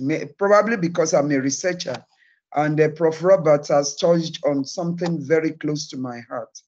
Uh, I've already sent you an email and uh, I'm expecting to get my response and a positive one for that matter. So thank you very much, uh, Prof. Roberts. It's a very wonderful presentation, very eye-opening and I think for your intelligence, as usual, to put, uh, you know, difficult information together to make it very simple. I think that is part of what I've benefited from uh, this morning. So over to colleagues, uh, it's time for question and answers. I don't know if uh, uh, UNESCO allow, uh, chair allows us to unmute our mic if we have questions, or we could also put in the chat uh, if you have questions. I don't know which you prefer, Prof. Letseka.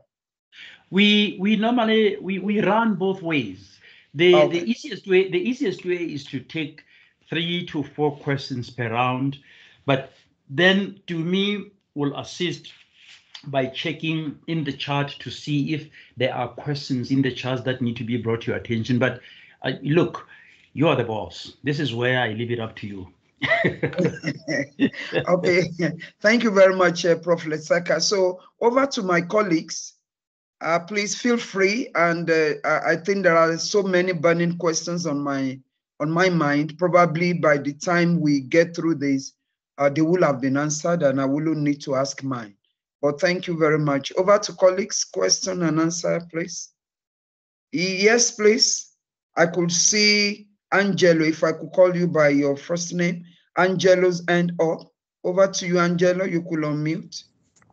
Thank you very much, Chair. Um, So my question, um, Prof. Roberts, is I know to, yes, I agree with you that there isn't enough um, work being done around the theories and the policies and the procedures, but I, in my experience, you know, working around working with universities of universities South Africa and also sitting in colloquiums where other universities are, UNISA's experience as a university is sidelined. Um, I know when we're compiling um, national education stats, we exclude UNISA from the analysis and, we're, and UNISA is done as a separate analysis. And the point I'm really getting at here is that distance education in South Africa is very much associated with UNISA. And um, and UNISA itself is quite sidelined, which makes it very difficult to get to the point where, you know, developing comprehensive national policies um, as part of your research, you know, you know, unless you just want to write a paper and have it sit on a shelf somewhere. But if you want to work in policy, it's really difficult because there isn't that community of practice. Um, is this your experience or um, have I just been in the wrong um, colloquiums? Thank you. Uh, thank you very much, uh, Angelo. Uh, because I don't know who is a prof, who is a doctor, I'm going to be using the first name, please. Just permit me. So thank you, Angelo, for that. Two more questions for Prof. Uh, Roberts so that uh, she can uh, respond. Questions, please.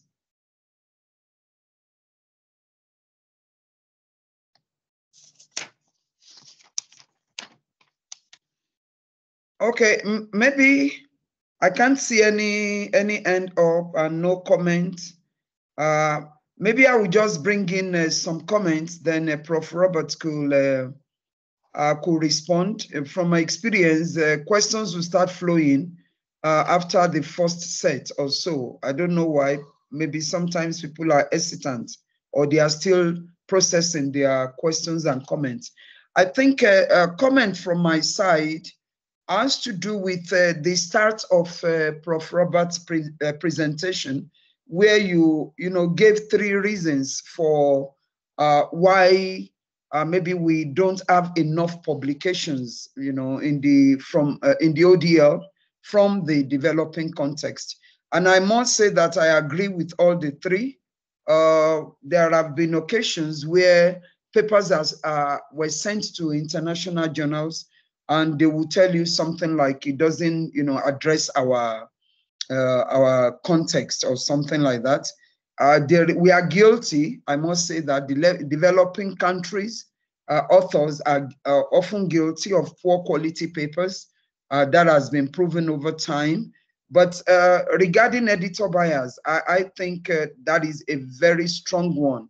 And I want to agree with what Prof. Letseka said I don't think I, I was at Toronto, but I didn't attend that particular session where that uh, editor said that.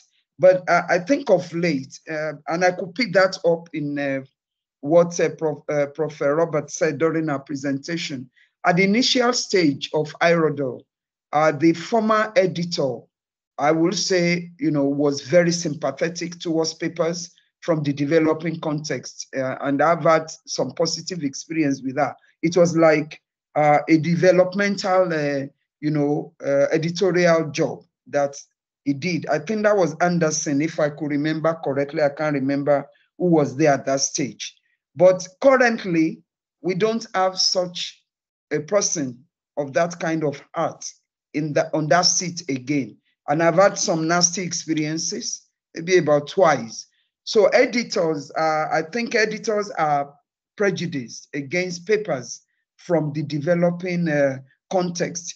I attended an international conference where a top person told me that, look, uh, what the challenge will be for, uh, you know, the developing context to maybe come up with journals that will address their own situation. And I think uh, that set me thinking, and that was why uh, uh, I, I decided to edit a journal. It's a new journal. It's been accepted on DOAJ. It's listed there currently. And, uh, you know, we're working on it. I think uh, we're working on our third volume. And Prof. Marco is one of the guest editors there. So this will be what will, you know, it will boil, boil down to at the end of the day. So I, I would like to have uh, Professor uh, Roberts, and maybe respond to some of these things. I, am looking at uh, if we look at developing capacity, you know, we need mentoring. I need mentoring, especially if you talk about, and I love the way you put, you know, the meso you, you brought to, to focus. We all know Olaf's uh, framework, but the way you brought in what we are doing, you know, to speak to that, I think really touched me. And I think there are scholars like myself that need mentoring, you know, in those areas. How could we come up? What can be done? You know, what what do we want to organize? Who wants to mentor us? I think these are questions on my own uh, mind. And uh, maybe I will invite uh, Prof. Roberts to respond to those uh, questions and comments so that we can take it from there. Thank you very much, Prof. Over to you. Okay, thank you for, for, for those questions. And there's a lot in there, and I, I hope I can and answer all this and with some discussion. If I go back to Angelo, it's Dr. Finn, thank you for that. Um, yes, UNISA's, because we were traditionally the only distance education university in South Africa, we were excluded from policy level decisions for many, many years. And I'm sad to see that that is still continuing, although since the, the, the white paper, I think it was 2014 or so, when um, distance education was open to all universities. And I think it should change even more dramatically, having taken into account the pandemic, where the traditional universities have gone into online learning now as well. So yes, that is still an issue, and this is thing. This is something that needs to be lobbied at a much higher level because I don't see why UNISA should not be part of policy making decisions about all higher education. Um, so that, that I'm, I'm agreeing with you on that, and I, I don't sit at that level. I, I don't play in that field, but but I think Prof. Letseka and and various others um, are, are the right people to to be doing that. Um, if we move on um, to the reasons, there's three reasons that I gave for uh, our lack of publication. And, and obviously when I put in the one about editorial bias, that, that was very difficult. And, you know, I did that a couple of years ago when I did this first um, paper on it in 2016, and I presented that in my naivety at an Eden conference where all these editors were sitting um, and they were very uncomfortable. And we even had one or two senior members from UNISA there, um, a lot more senior than we are, um, who were uncomfortable that I was raising this. But at that particular conference, a colleague of ours who has been in this discussion today, um, who's very senior, a senior professor from another college, and has done a lot of work in ODL, so has moved into that space and has been and has loads of publications he was talking to the editor of one of the top journals, not or one of the other ones. And he was completely dismissed. And he asked him the question, what do I need to do to get you interested in this article? And the answer was, there's nothing you can do. I'm not accepting anything from South Africa. And now this is somebody, you know, so I've had it, I asked the question myself, I had exactly the same thing. But interestingly enough, when we go to the IRRODL one, I obviously know who Prof. Letseka is referring to, um, and I, I know that the previous editor quite well. I was not in that um, editors meeting in Toronto. I was obviously at Toronto, but I, because I wasn't involved in editorial processes, I wasn't there. So I must say I'm very surprised to have heard her standpoint there because that is very different to what she has told me. Now, I don't know, um, um Dr. Luca also alluded to the fact that, that, she, that, that this editor might have changed her stance a bit, but um, I just think that is very indicative of what is going on in the rest of the world. So I would get back to um, the third point that Dr. Luca is alluding to, or, uh, or what Prof. Letseka also alluded to, is having our own journals. And I think Thank you, Dr. Luke. I think that's great, and I'd love to get more more details about um, your journal. And I do see on my phone um, the email from you, which I will respond to as soon as we've finished here. Um, and I think that is incredibly important that we find the space to publish. Um, one of the the items in the, um, uh, the, the that 119 page report that came out a few days ago that, that we were mentioning earlier made mention that the IODL, and I don't want to be political here, I'm just stating facts, was, I can't remember the word they said, but basically disbanded. Now, that's not actually technically true. The IODL in the College of Graduate Studies was, but it was moved to College of Education, where we have a new home. But we're not no longer the IODL. And I think the important point I'm just trying to make here is we need to be having larger institutions, research institutions, whether it's into university, into college, spe specifically in a, a education, I'm not sure. But this shows the importance of that decision that was made that maybe it wasn't so important to have a research institute. We really need to have them. And I'm not saying it needs to be how it was, but we need to have them in place to be able to push these agendas.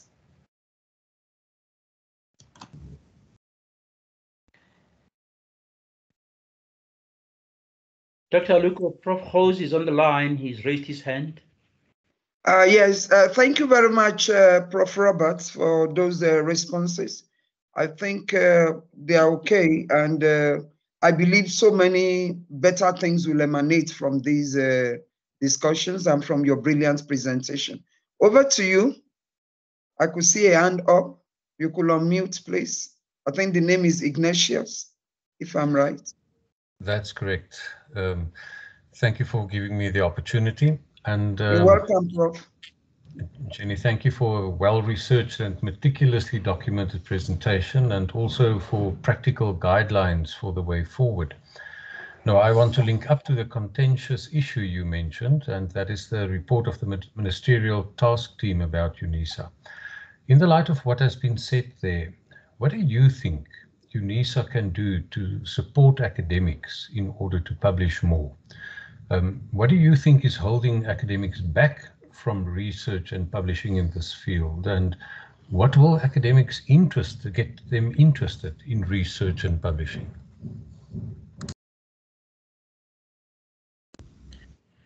Okay, well, well, thank you. Yeah, that, that's a very broad question about, about research support. Um, and yeah, um, so you want to know what we can do. I think I, I alluded to it just now is that um, staff members at UNISA, and this was shown in that ministerial report, are under enormous pressure. What was it, what did it say in the report? We're 30% understaffed. We've got so many vacancies, and particularly the teaching staff have got workloads that are not sustainable. And what what that results in is that research is pushed to the back burner and research is seen as something extra I have to do because my IPMS says so. And having run many of the searchlight programs at UNISA, where we would have people who are really, really enthusiastic and have great ideas, and we're trying to get them to, to we were mentoring them to get their, their articles written, what we found is that so many of them never completed because of a time thing. We would we would have searchlights set up and the, the morning of it would be, no, I'm afraid there's been a problem with the J router or there's a problem with this or we've got an extra meeting. So research is seen by many as being um, an extra that we don't have time for. I'm not saying here that people don't want to do it. I found a lot of enthusiasm for it, but no time. So I think that is something that needs to be addressed. Then we've got those people who are not enthusiastic. And here I, I've met quite a few educators at UNISA who I will say to them, what is your role? What is your job? What is your career? And they will say, I'm an accountant, or I'm a geologist, or I'm an economist. And I'll say to them, no, that's not your job. Your job is an ODEL teacher or lecturer in your subject. And they're saying that it's saying my field is geology, so why should I be publishing an ODL? And I'm saying your field is ODEL. Um, your field is ODEL and your specialization is geology. So what you should be doing is publishing on how you're teaching your speciality in an ODL environment. And it's that mindset that has to change amongst those people who are resistant. But I also feel strongly where people are resistant to wanting to publish in ODEL, I don't think we should try and change that. I don't believe that all 2,000, however many academic staff at UNISA need to be publishing in this field. We need to find those people who are interested, who are committed, and then we need to provide the support, which was provided always through the um, the Searchlight program. And all we can say here now is I have actually been tasked to redevelop that and Yuko and I are working on it. Again, it's been a time thing and we hope to be able to to provide something that's going to be totally different, but to provide that kind of support as we go forward. I hope that answers your question. Thank you, it does. Dr. Dr. Aluko? Uh, yes, Prof. I, I know that um, Van der Bald Van der wants to come in. Yeah, I Um, see. I can see the end. Yes. But I needed to just, if you allow me to add on to Prof. Robert's response, um, I, I think my my take is that there are lots of Prof. Roberts, there are lots and lots of people with a good heart and a passion for research at UNISA. Um, and yes, you, you, are, you are raising an important issue of, of overload and the stresses of having to attend meetings. Um, but if, if I were to respond to that as an add-on to Prof. Gous's question, I, I would say that we need to get this passionate, like-minded people, yourself, the likes of Professor Ngubane, Professor, and I, I am doing that now with the the the UNISA IODL conference. We have created a, a very wonderful, vibrant community. We are coming together. We are exploring ways of pushing the the envelope higher. But I think beyond the conference, we need to bring these minds together. This platform that we are on right now, you know, when when I set up this platform with my team at, at the UNESCO, we sat around and say, how do we make this a sustainable, continuous platform? And we put together plans. And I can assure you, these plans have now manifested. Three years in a row, the UNESCO chair, we are able to put together 10 seminars a year. Uh, this year, we, we were able to bring experts from Concordia University, you, you name it, uh, from Melbourne, Australia, from Eswatini. We need those minds, Prof. Gous, where we can think broadly about how we create supportive and enabling environment for the cross-pollination of ideas in research. But how do we also create supportive and enabling infrastructure within the university, within our own departments or within our own colleges? When I said in the Department of Educational Studies before I moved on to the UNESCO chair, Professor um, Pedro van Niekerk came out with this idea and said, why don't we set up a brown bag culture of seminars? We did that. It, it, it, it went on, started, started, and never really took off. But that idea was fabulous. We need to have a culture of research seminars across the colleges that, that will be sustained by brilliant ideas, by bringing in people with brilliant ideas who can share their research. And then we need to also find ways in which we can harness these young people, create an incentive. Let's find ways to assist the younger researchers, secure funding for them. I've, I've, I've had an opportunity and a privilege of working with some of the members in the in the College of Education that I've taken by hand and walked with them to the NRF, managed to get funding for them. And they realize once young and emerging scholars find that role model leadership, that shows them the line. A lot of people here got money, they started research project, they started inviting people from as far as Uganda, as far as Zambia, and they were young and emerging scholars. So we need to also, as full professors, to really put our monies where our mouths are. Our role as full professors is, is really to provide that kind of direction, that kind of support, that kind of role modeling. And we need to avail the young and emerging scholars to our networks. What I did with my, my postdoctoral fellows was to take them to the University of Northwest to meet with Professor Jako Olivier, my partner in crime. I've taken them to Scotland, I've taken them to Dublin. at my own expense, my expense that I budgeted for within the institute. So, so we need to find ways in which we understand that when we have younger people, there is a passion for research among our younger people, but there are also challenges within the department as far as supporting those researchers are concerned. And this is where the wisdom of senior professors comes in. So I think we are raising a very important issue. Prof. Gous, this is a very important issue, and I wish we could find a moment outside this where we can extend this debate further and explore it and say, how do we then drive this agenda to its logical conclusion that we can turn it into a, a sustainable long-term project that can then be seen to bear fruits because we can then pull all our ideas, all our expertise, all our advice and say, here are the projects that we set up. One of those is to think about forming those um, journals. There's a new journal emerging in the College of Education, Nigeria, uh, and it's not accredited, but we are inviting younger people to publish in it. It's, it will definitely, I think, be be ready for accreditation next year. So the more we can have all these journals emerging from colleges and the more we can support them at conferences by giving them manuscripts special issues so that they can they can then grow and be ready for a accreditation so there's a whole vast area that that can be explored. I don't know prof. Gous i know i want to touch on so many things but maybe this is a conversation that we can have outside this but i hope that my supporting comments to professor roberts there uh, help to as it were put perspective in the question you asked. Thank you very much, uh, Chair. Uh, thank you very much, uh, Prof. Letseka. Uh, like I said uh, when I first started talking, uh, I believe that UNESCO Chair, you already have maybe your next part of it anyway. It wouldn't be the only one, but the next line of webinars, seminars, you know, to organize.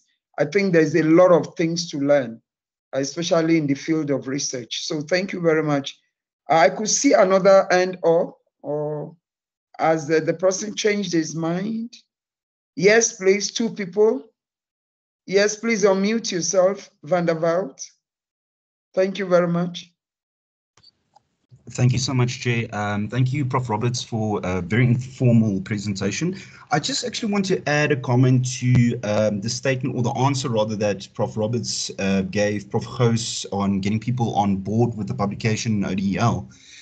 Um, and I must say, I semi-agree with the statement that if um, a lecturer or an educator in the UNISA context um, should be publishing on distance education papers. However, we need to consider the fact that they're also committed to their discipline specifically. I understand and I respect that, but we need to consider other ways of attempting to convince staff members or academics to actually work on these various um, levels, meso, macro, and micro, for example. But um, the thing is that if we do in fact do this, we're going to see an increase in the um, micro aspect as well. Because it's my assumption that the lecturers within their um, disciplines will only write uh, research projects based on their teaching experiences, which falls within the, the microsphere. Uh, but we need to find a way to also incentivize or increase the interest in meso and macro. Now, I know that Prof. Letseka has got some things in place to, to address those aspects, but perhaps a suggestion is to um, to have an, a, form of incentive for any ODL publication uh, within the the local South African context, not just for dist or, or international publications. If we want to push this, um, ODL aspect and, and especially with the, the, the MESO and the macro, I think we should consider maybe adding um, an additional incentive for ODL papers that get published locally. Uh, thank you. Uh, uh, thank you very much for that. I think that also speaks to what we need to hear and the way forward. There was another. Me, if you allow me, Dr. Dr. Aluko. Okay, Prof. I think, um, uh, Prof. Vaart, I, I hear you, um, and I can assure you that one of the things that are exciting that are happening at UNISA is the the, the passion, I think, that the finance director in the research directorate uh, Mr. Haribo Pape has shown to ODEL, and we are constantly in meeting. This idea that you're taking is that you just said is something that I, I, I have to assure you. I'm going to put it across to him, to Professor Labuschagne, and to Professor Meyiwa because I'm, I'm involved in a series of meetings to look into how to basically deal with exactly the issue you're raising, incentivizing ODEL. Um, Professor Pape has pushed us to developing a project that Professor Ngubane, Professor um, um, Van den Berg, and everybody else are in. I was running this college, this conference in the UNESCO chair, but the idea was let's make it bigger. Let's team up. And in that space, the space, the question was, how do we make ODEL interactions and research better? So I'm, I'm going to take that and put it across. It's a very wonderful idea. Uh, one of the things that I've been pushing as an envelope to the vice principal has been to say, and I think it speaks to what you are raising, uh, Prof. Andival, has been to say that the way in which the UNISA research niche areas have been conceptualized is terribly flawed. Um, it was flawed from the very beginning to take ODL and put it in the mix as one of the old, as one of the niche areas, and then it becomes one of the areas that competes with others.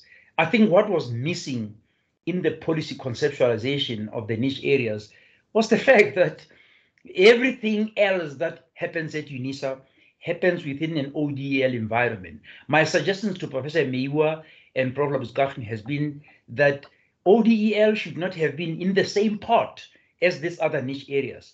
ODEL should have been an anchor where all these other areas are.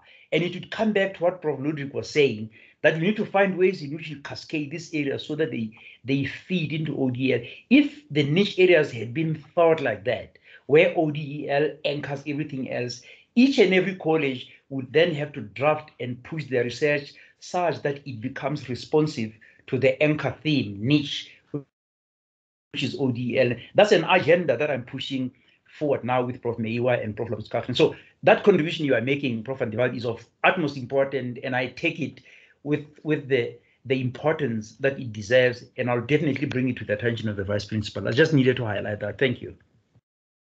Uh, thank you very much, Prof. Uh, Letseka. I think uh, that is uh, the way to go, especially when it comes to uh, institutional uh, perspective regarding ODL research. I thought I saw one end before I hand over to Prof. Letseka again. Or maybe the person's question has been answered. Dr. Aluko, thank you. It's Oh, Geesje speaking. Thank you. Yeah, Just a quick over to you. comment. I see it's almost 12 o'clock. Um, but firstly, um, Prof. Roberts, thank you so much for an insightful presentation. Um, I really learned a lot and I think we need to have more of these kind of discussions to make us all aware of what's going on in the ODL research field. I remember, and I know you will also remember that um, Prof. Olaf also gave a presentation during the RNI week. I think it was two years ago or so, if I remember correctly, exactly on, on his framework. And he was also referring to the fact that um, UNISA and South Africa is not really um, doing well on the macro levels. And then I totally forgot the, the framework because we don't talk about these things and we, we don't remind each other. So thank you for this. And um, I'm really going to, to look at your presentation when I get the recording um, to really look at these, these other levels because we work in ODL and yeah, so that's important. That's one thing I wanted just to share. And then also on a comment you made on workload, um, as many of you know, I'm, I'm involved in the ODL um, professional development project of UNISA, where the um, colleagues are doing a certificate in online learning in ODL, ODL teaching and learning at Oldenburg University. And after each um, cohort finishes, we actually do um, an ODL writing workshop and um, Prof. Letseka and um, the um, UNESCO chair and ODL is supporting us also financially with this project, where the, the colleagues who complete um, then attend these workshops. Um, it's not compulsory, but they attend and they are so enthusiastic about ODL and they come from different colleges. Um, but to be honest, the time is just not there. They attend and they're working on research, and many of them don't complete, not because they don't want to, but simply because they then share. They are so overloaded and they have to do this and that and marking and um, exams, etc. So this is definitely a dilemma, and um, this is also showing that people want to, in my opinion, do research and want to publish, but simply can't get there because there are other priorities.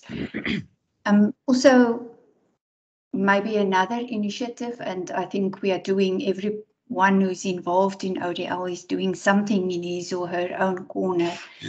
Um, we are I'm the program manager for the IMET in ODL and student numbers are low, but students are doing research in, in the structured masters and we are working, Dr. Mudawa and I are uh, working in this um, program and we are working hard to um, get these students to publish on their mini dissertations, although um, it's not also not compulsory. So one is published now in a local journal and one is submitted to a local journal. Um, exciting stuff on Ubuntu and um, one from the University of Eswatini on um, research that's going on there that we co-published with. But these are not coming through, as you also said, um, and this is my experience, and I've shared it on the chat as well. Local journals in general take quite a bit, uh, quite long to publish our research.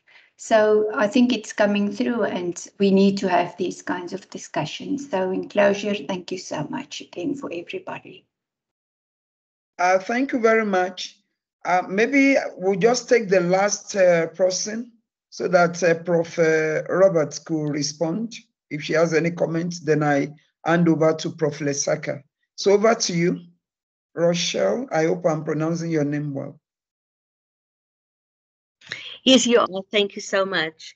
And um, thanks, Chair, and thanks, Prof. Letseka and Prof. Roberts for a very insightful presentation. I really enjoyed it very much. I'd just like to um, um, um a comment made by Prof. van den Berg. As an academic, I've been um, ODL research is one of my fields that I enjoy publishing in, but unfortunately, um, with um, um, all of our our the pressures. We just heard now that we have to mark 900 exam scripts for this exam. So with the result, my colleague, the one colleague who I encouraged to attend, of course, we aren't looking at attending anything or um, that isn't that is not going to assist us um, in marking exam scripts and compiling new exam papers for the January examination uh, we need support. If we want to be involved, we definitely need support as academics within um, um, within the field or from your side, Prof. Seka, or I don't know how, but we need support so that we can then publish in the field of ODL. So it's just a suggestion from my side. Once again, thank you so much. Uh, thank you very much. Over to you, Prof. Uh, Roberts. Then uh, Prof. Letseka will take over. Yeah, I think Prof. Roberts. We've lost her. Yeah, I need to draw your attention to. I think there are there are comments in the chat. There are two that I really thought I would like to flag, and maybe when Prof. Roberts responds, we can talk about those. Um, okay. Zulu Pilani says, "Who should teach research methodology?" At academic level or at what level of study should students be well versed on research methodology? Is there a gap in this regard? I think all of us, professors, uh, Ngubane, Professor Pandil, Professor Gous, everybody else, we should be able to deal with this. Uh, Prof. Roberts, I'm just saying, it's not just your question, this is a conversation. And then we have a, a very, um, I think, a very important comment, also a question. It comes from a guest from um, KZN, uh, Zelake, says, thank you very much for a wonderful presentation. I'm a scholarship holder in KZN and I work with colleagues who from other units, unfortunately, research is not infused into their KPAs. I know they have a passion, but how do we deal with such barriers? Um, at UNISA, we, we, are, we are all aware that research is one of the KPIs. I think the question here refers to a situation where research is not built into one's performance appraisal. I thought I would raise this because my fear was that we might actually close without paying attention to, to them. Okay, Prof. Roberts.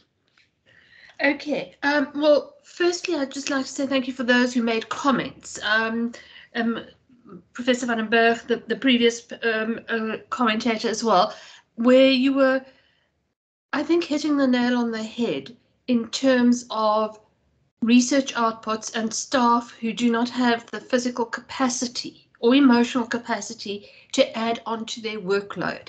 And I think that needs to, that's highlighted that that almost needs to be a separate um, seminar on its own. So what I've highlighted here now is saying this is the picture. This is what is actually happening. What is important is what we're discussing now is how do we mitigate that? We can see the results. We are not getting the publications we need and the staff are not um, able in, and I'm saying able, not, not, not that they're capable, they're totally capable, but many need that research support. And I think what I'm hearing is I'm hearing the initiatives that are being carried out by the UNESCO chair. I'm hearing the initiatives that Prof. van den Berg is carrying out with the, the, the, the masters. I'm hearing a lot of the research that, that we are doing in, well, the previous IODL, but correctly speaking now is the ODL research unit. Um, we're hearing work that is being done in CSET, and I, am just mentioning the ones that have been mentioned here. Um, Prof. Hurst talking about CHS as well, and I'm I'm thinking that to bring all of this together, we need one. We need a consolidated way of doing it because there are too many of us scratching at the side and we're not talking to each other. Um, and, and particularly, I'm I'm saying here to Prof. van den Berg, and I'm saying this in the, in the most polite, nice way she's talking about this project on staff um, development uh, in ODL.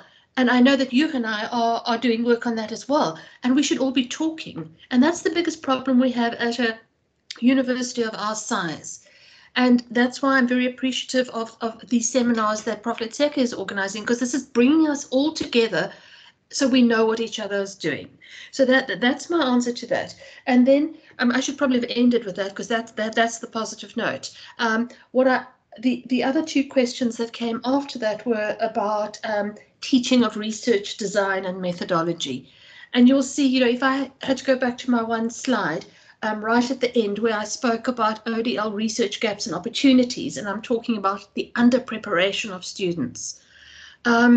It's not only the under preparation of students. I've I have also been um, astounded, or uh, maybe find some other words, when we have staff members who already have PhDs or masters who are battling with basic research. And, and there's, there's a flaw somewhere in the system. So I'm not pointing fingers anywhere here. I'm saying it has happened that, that many people are not prepared to do research. I'm working with the head of another department who, um, in a very senior position at the moment, we're collaborating on, on, on a project. And she says to me straight out, she says, my PhD wasn't very good at all. I need expertise in research methodology. And I'm only saying all of this to say that it all comes together. We're seeing it from our students' perspective, we're seeing it from the staff. And if I had to just give my two cents worth, is I believe that we are in serious need of those kind of courses, whether we're talking MOOCs or whatever we're talking on research design. And that's not just ODEL research design in general. And um, so I'm sort of now ending on that, that sort of note, but maybe that is a bit of my hobby horse, is that we need this bridging course to get people ready to carry out research, because I'm seeing it with my students, I'm seeing it with other staff members as well. But on the other hand, we have so many staff members who are experts in this area. We've got to mentor mentor people and bring them up to, to scratch. Thank you.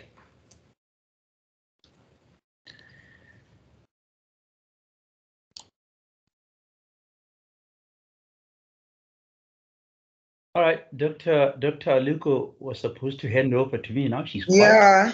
I think, I think I already did. I said after the after Prof. Roberts' uh, uh, comments.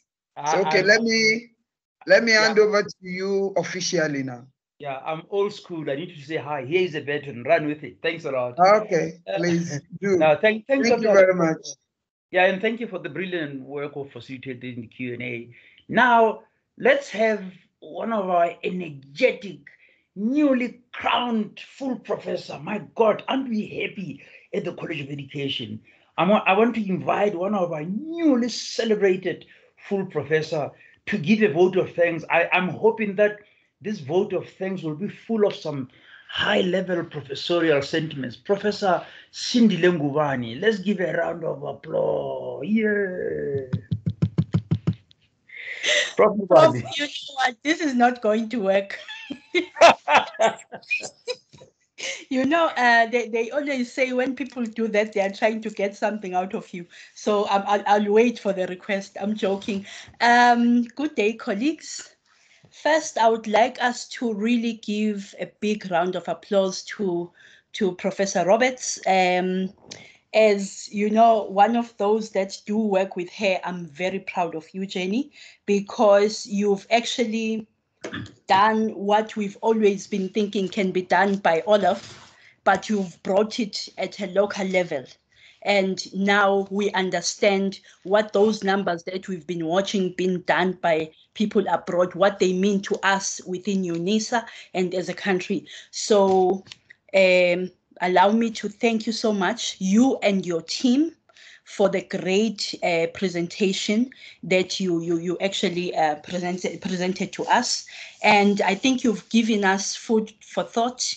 Um, not only that, also you you have allowed colleagues to rethink their strategy on how they they they actually want to approach their research. So you didn't just present but you've given us a homework. We we and the, the good thing is that it's october uh, so people can actually now sit and think in terms of their personal development plans on how they want to approach next year when it comes to how they want to do ODL.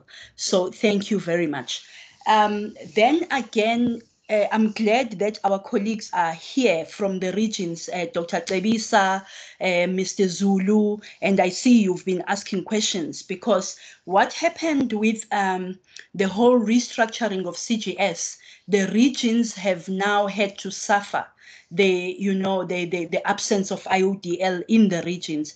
Of course, uh, I accept, like we've always been saying, that the issue that um, research is not part of your KPAs makes it a bit difficult. But we all know that we have people like uh, Mrs. Olomisa, uh, the, the late Bongani Mnguni, that have presented at conferences. Even the, the team from Rustenburg, they've published with Dr. Nsamba. Uh, there, there are people also in Cape Town, Western Cape, that have published with Dr. With uh, Professor Roberts. So we know that when they support at a grassroots level, um, even support staff can actually do very good ODL research. Now, Prof. Letseka, allow me to just add to your list uh, when you approach uh, Prof. Dabuskachne, is to say that um, an ODL university is very much strengthened by uh, support staff and also academic staff. So they they need to ensure that uh, research as, an, as a KPA is actually given to everybody. Then people can decide the percentage at which they want to get involved. That way, we'll get all the students' experience, the support staff experience, and all these parts. When you look at all the ODL gurus abroad, they were actually not academics. Most of them were support staff. And that is why their research influences how work is done in the ODL uh, field. So I've been asked to say thank you. Uh, thank you so much that uh, to to everyone that was in the program. Prof. Lotriet, uh, you know where we come from. It was nice to just look at you and see how calm you are. Um, uh, Dr. I mean, uh, Dr. Aluko, you know, you've you've been with us. In fact, I, I think you should have joined UNISA long ago. Uh, so we always uh, enjoy having you uh, in our midst. And uh, Prof. Letseka and your team, thank you so much for actually coming back and, and talking to, to, you know, recognizing our talent within UNISA and letting them present their work. And thank you to all the colleagues that are here. You've actually taken time to come and be here for engagement. We still invite you, no matter what shape or form we are in, as a ODL, I mean ODL research unit, our task is to support you with your work. And I think also UNESCO also is there to support you with your ODL research. Reach out to us. We'll see how we can assist. Thank you so much, and I wish you well with your work. Thank Prof. you. Thank you. Thank you, Prof. Ngubane. Yeah, thank you. Thank you so much. Um, thank you all for, for being here. We um, you know, we are. You don't know how blessed we are as a as the UNESCO chair. We we can bank on the loyalty of some of our most loyal patrons. There are some people here that are always here, and we wish many people could always be here because this is the place where we try and bring all ODL experts across the world, as I said earlier, to share and, and basically give us new ideas and move us forward, basically galvanize and stimulate debates. It's my view is that if we can have this platform where the debates and research are shared, then we are creating an opportunity for further research and um, for inspiration so that others can go on. The final um, seminar of the UNESCO chair will take place next month. It will be given by Dr. Mabaledi Sieletso, who used to be the one of my postdoctoral fellows. Basically, she was up until last year, she was my senior postdoctoral fellows. I think I've published close to eight or 10 pieces with her. Very, very energetic. She is now, she's just been appointed as the new director of the SADC uh, Distance Learning Center in the Botswana Open University. So she'll be coming here to share lots and lots of work that dovetails her work at the UNESCO chair and the work that she does in Botswana. Again, this brings in some perspective coming from across the border. So watch this space as you saw Prof. Jenny's uh, advertisement flyer. My team is working behind the scenes already to finalize the flyer and put it up. Please watch this space. The end of the year uh, session crowns everything else. And then afterwards, we're going to go on the UNESCO chair, Lekgotla, where we will then release the 2022 plan. Again, we are really rumbling on. So you can rest assured that come 2022, this space is going to be even more enhanced. We are looking at a whole range of experts coming from across that will be featuring here to share experts. So with that, thank you very much. Stay safe um, and, and, and get well. Thank you for supporting us and, and thank you very much. Have a good day, all of you. Bye-bye. Bye-bye. Yeah, this is where you all unmute and I can hear. You have to say all bye-bye. Now I hear all Bye-bye. Bye. Bye. Bye. Thanks, everybody. Bye-bye. Bye.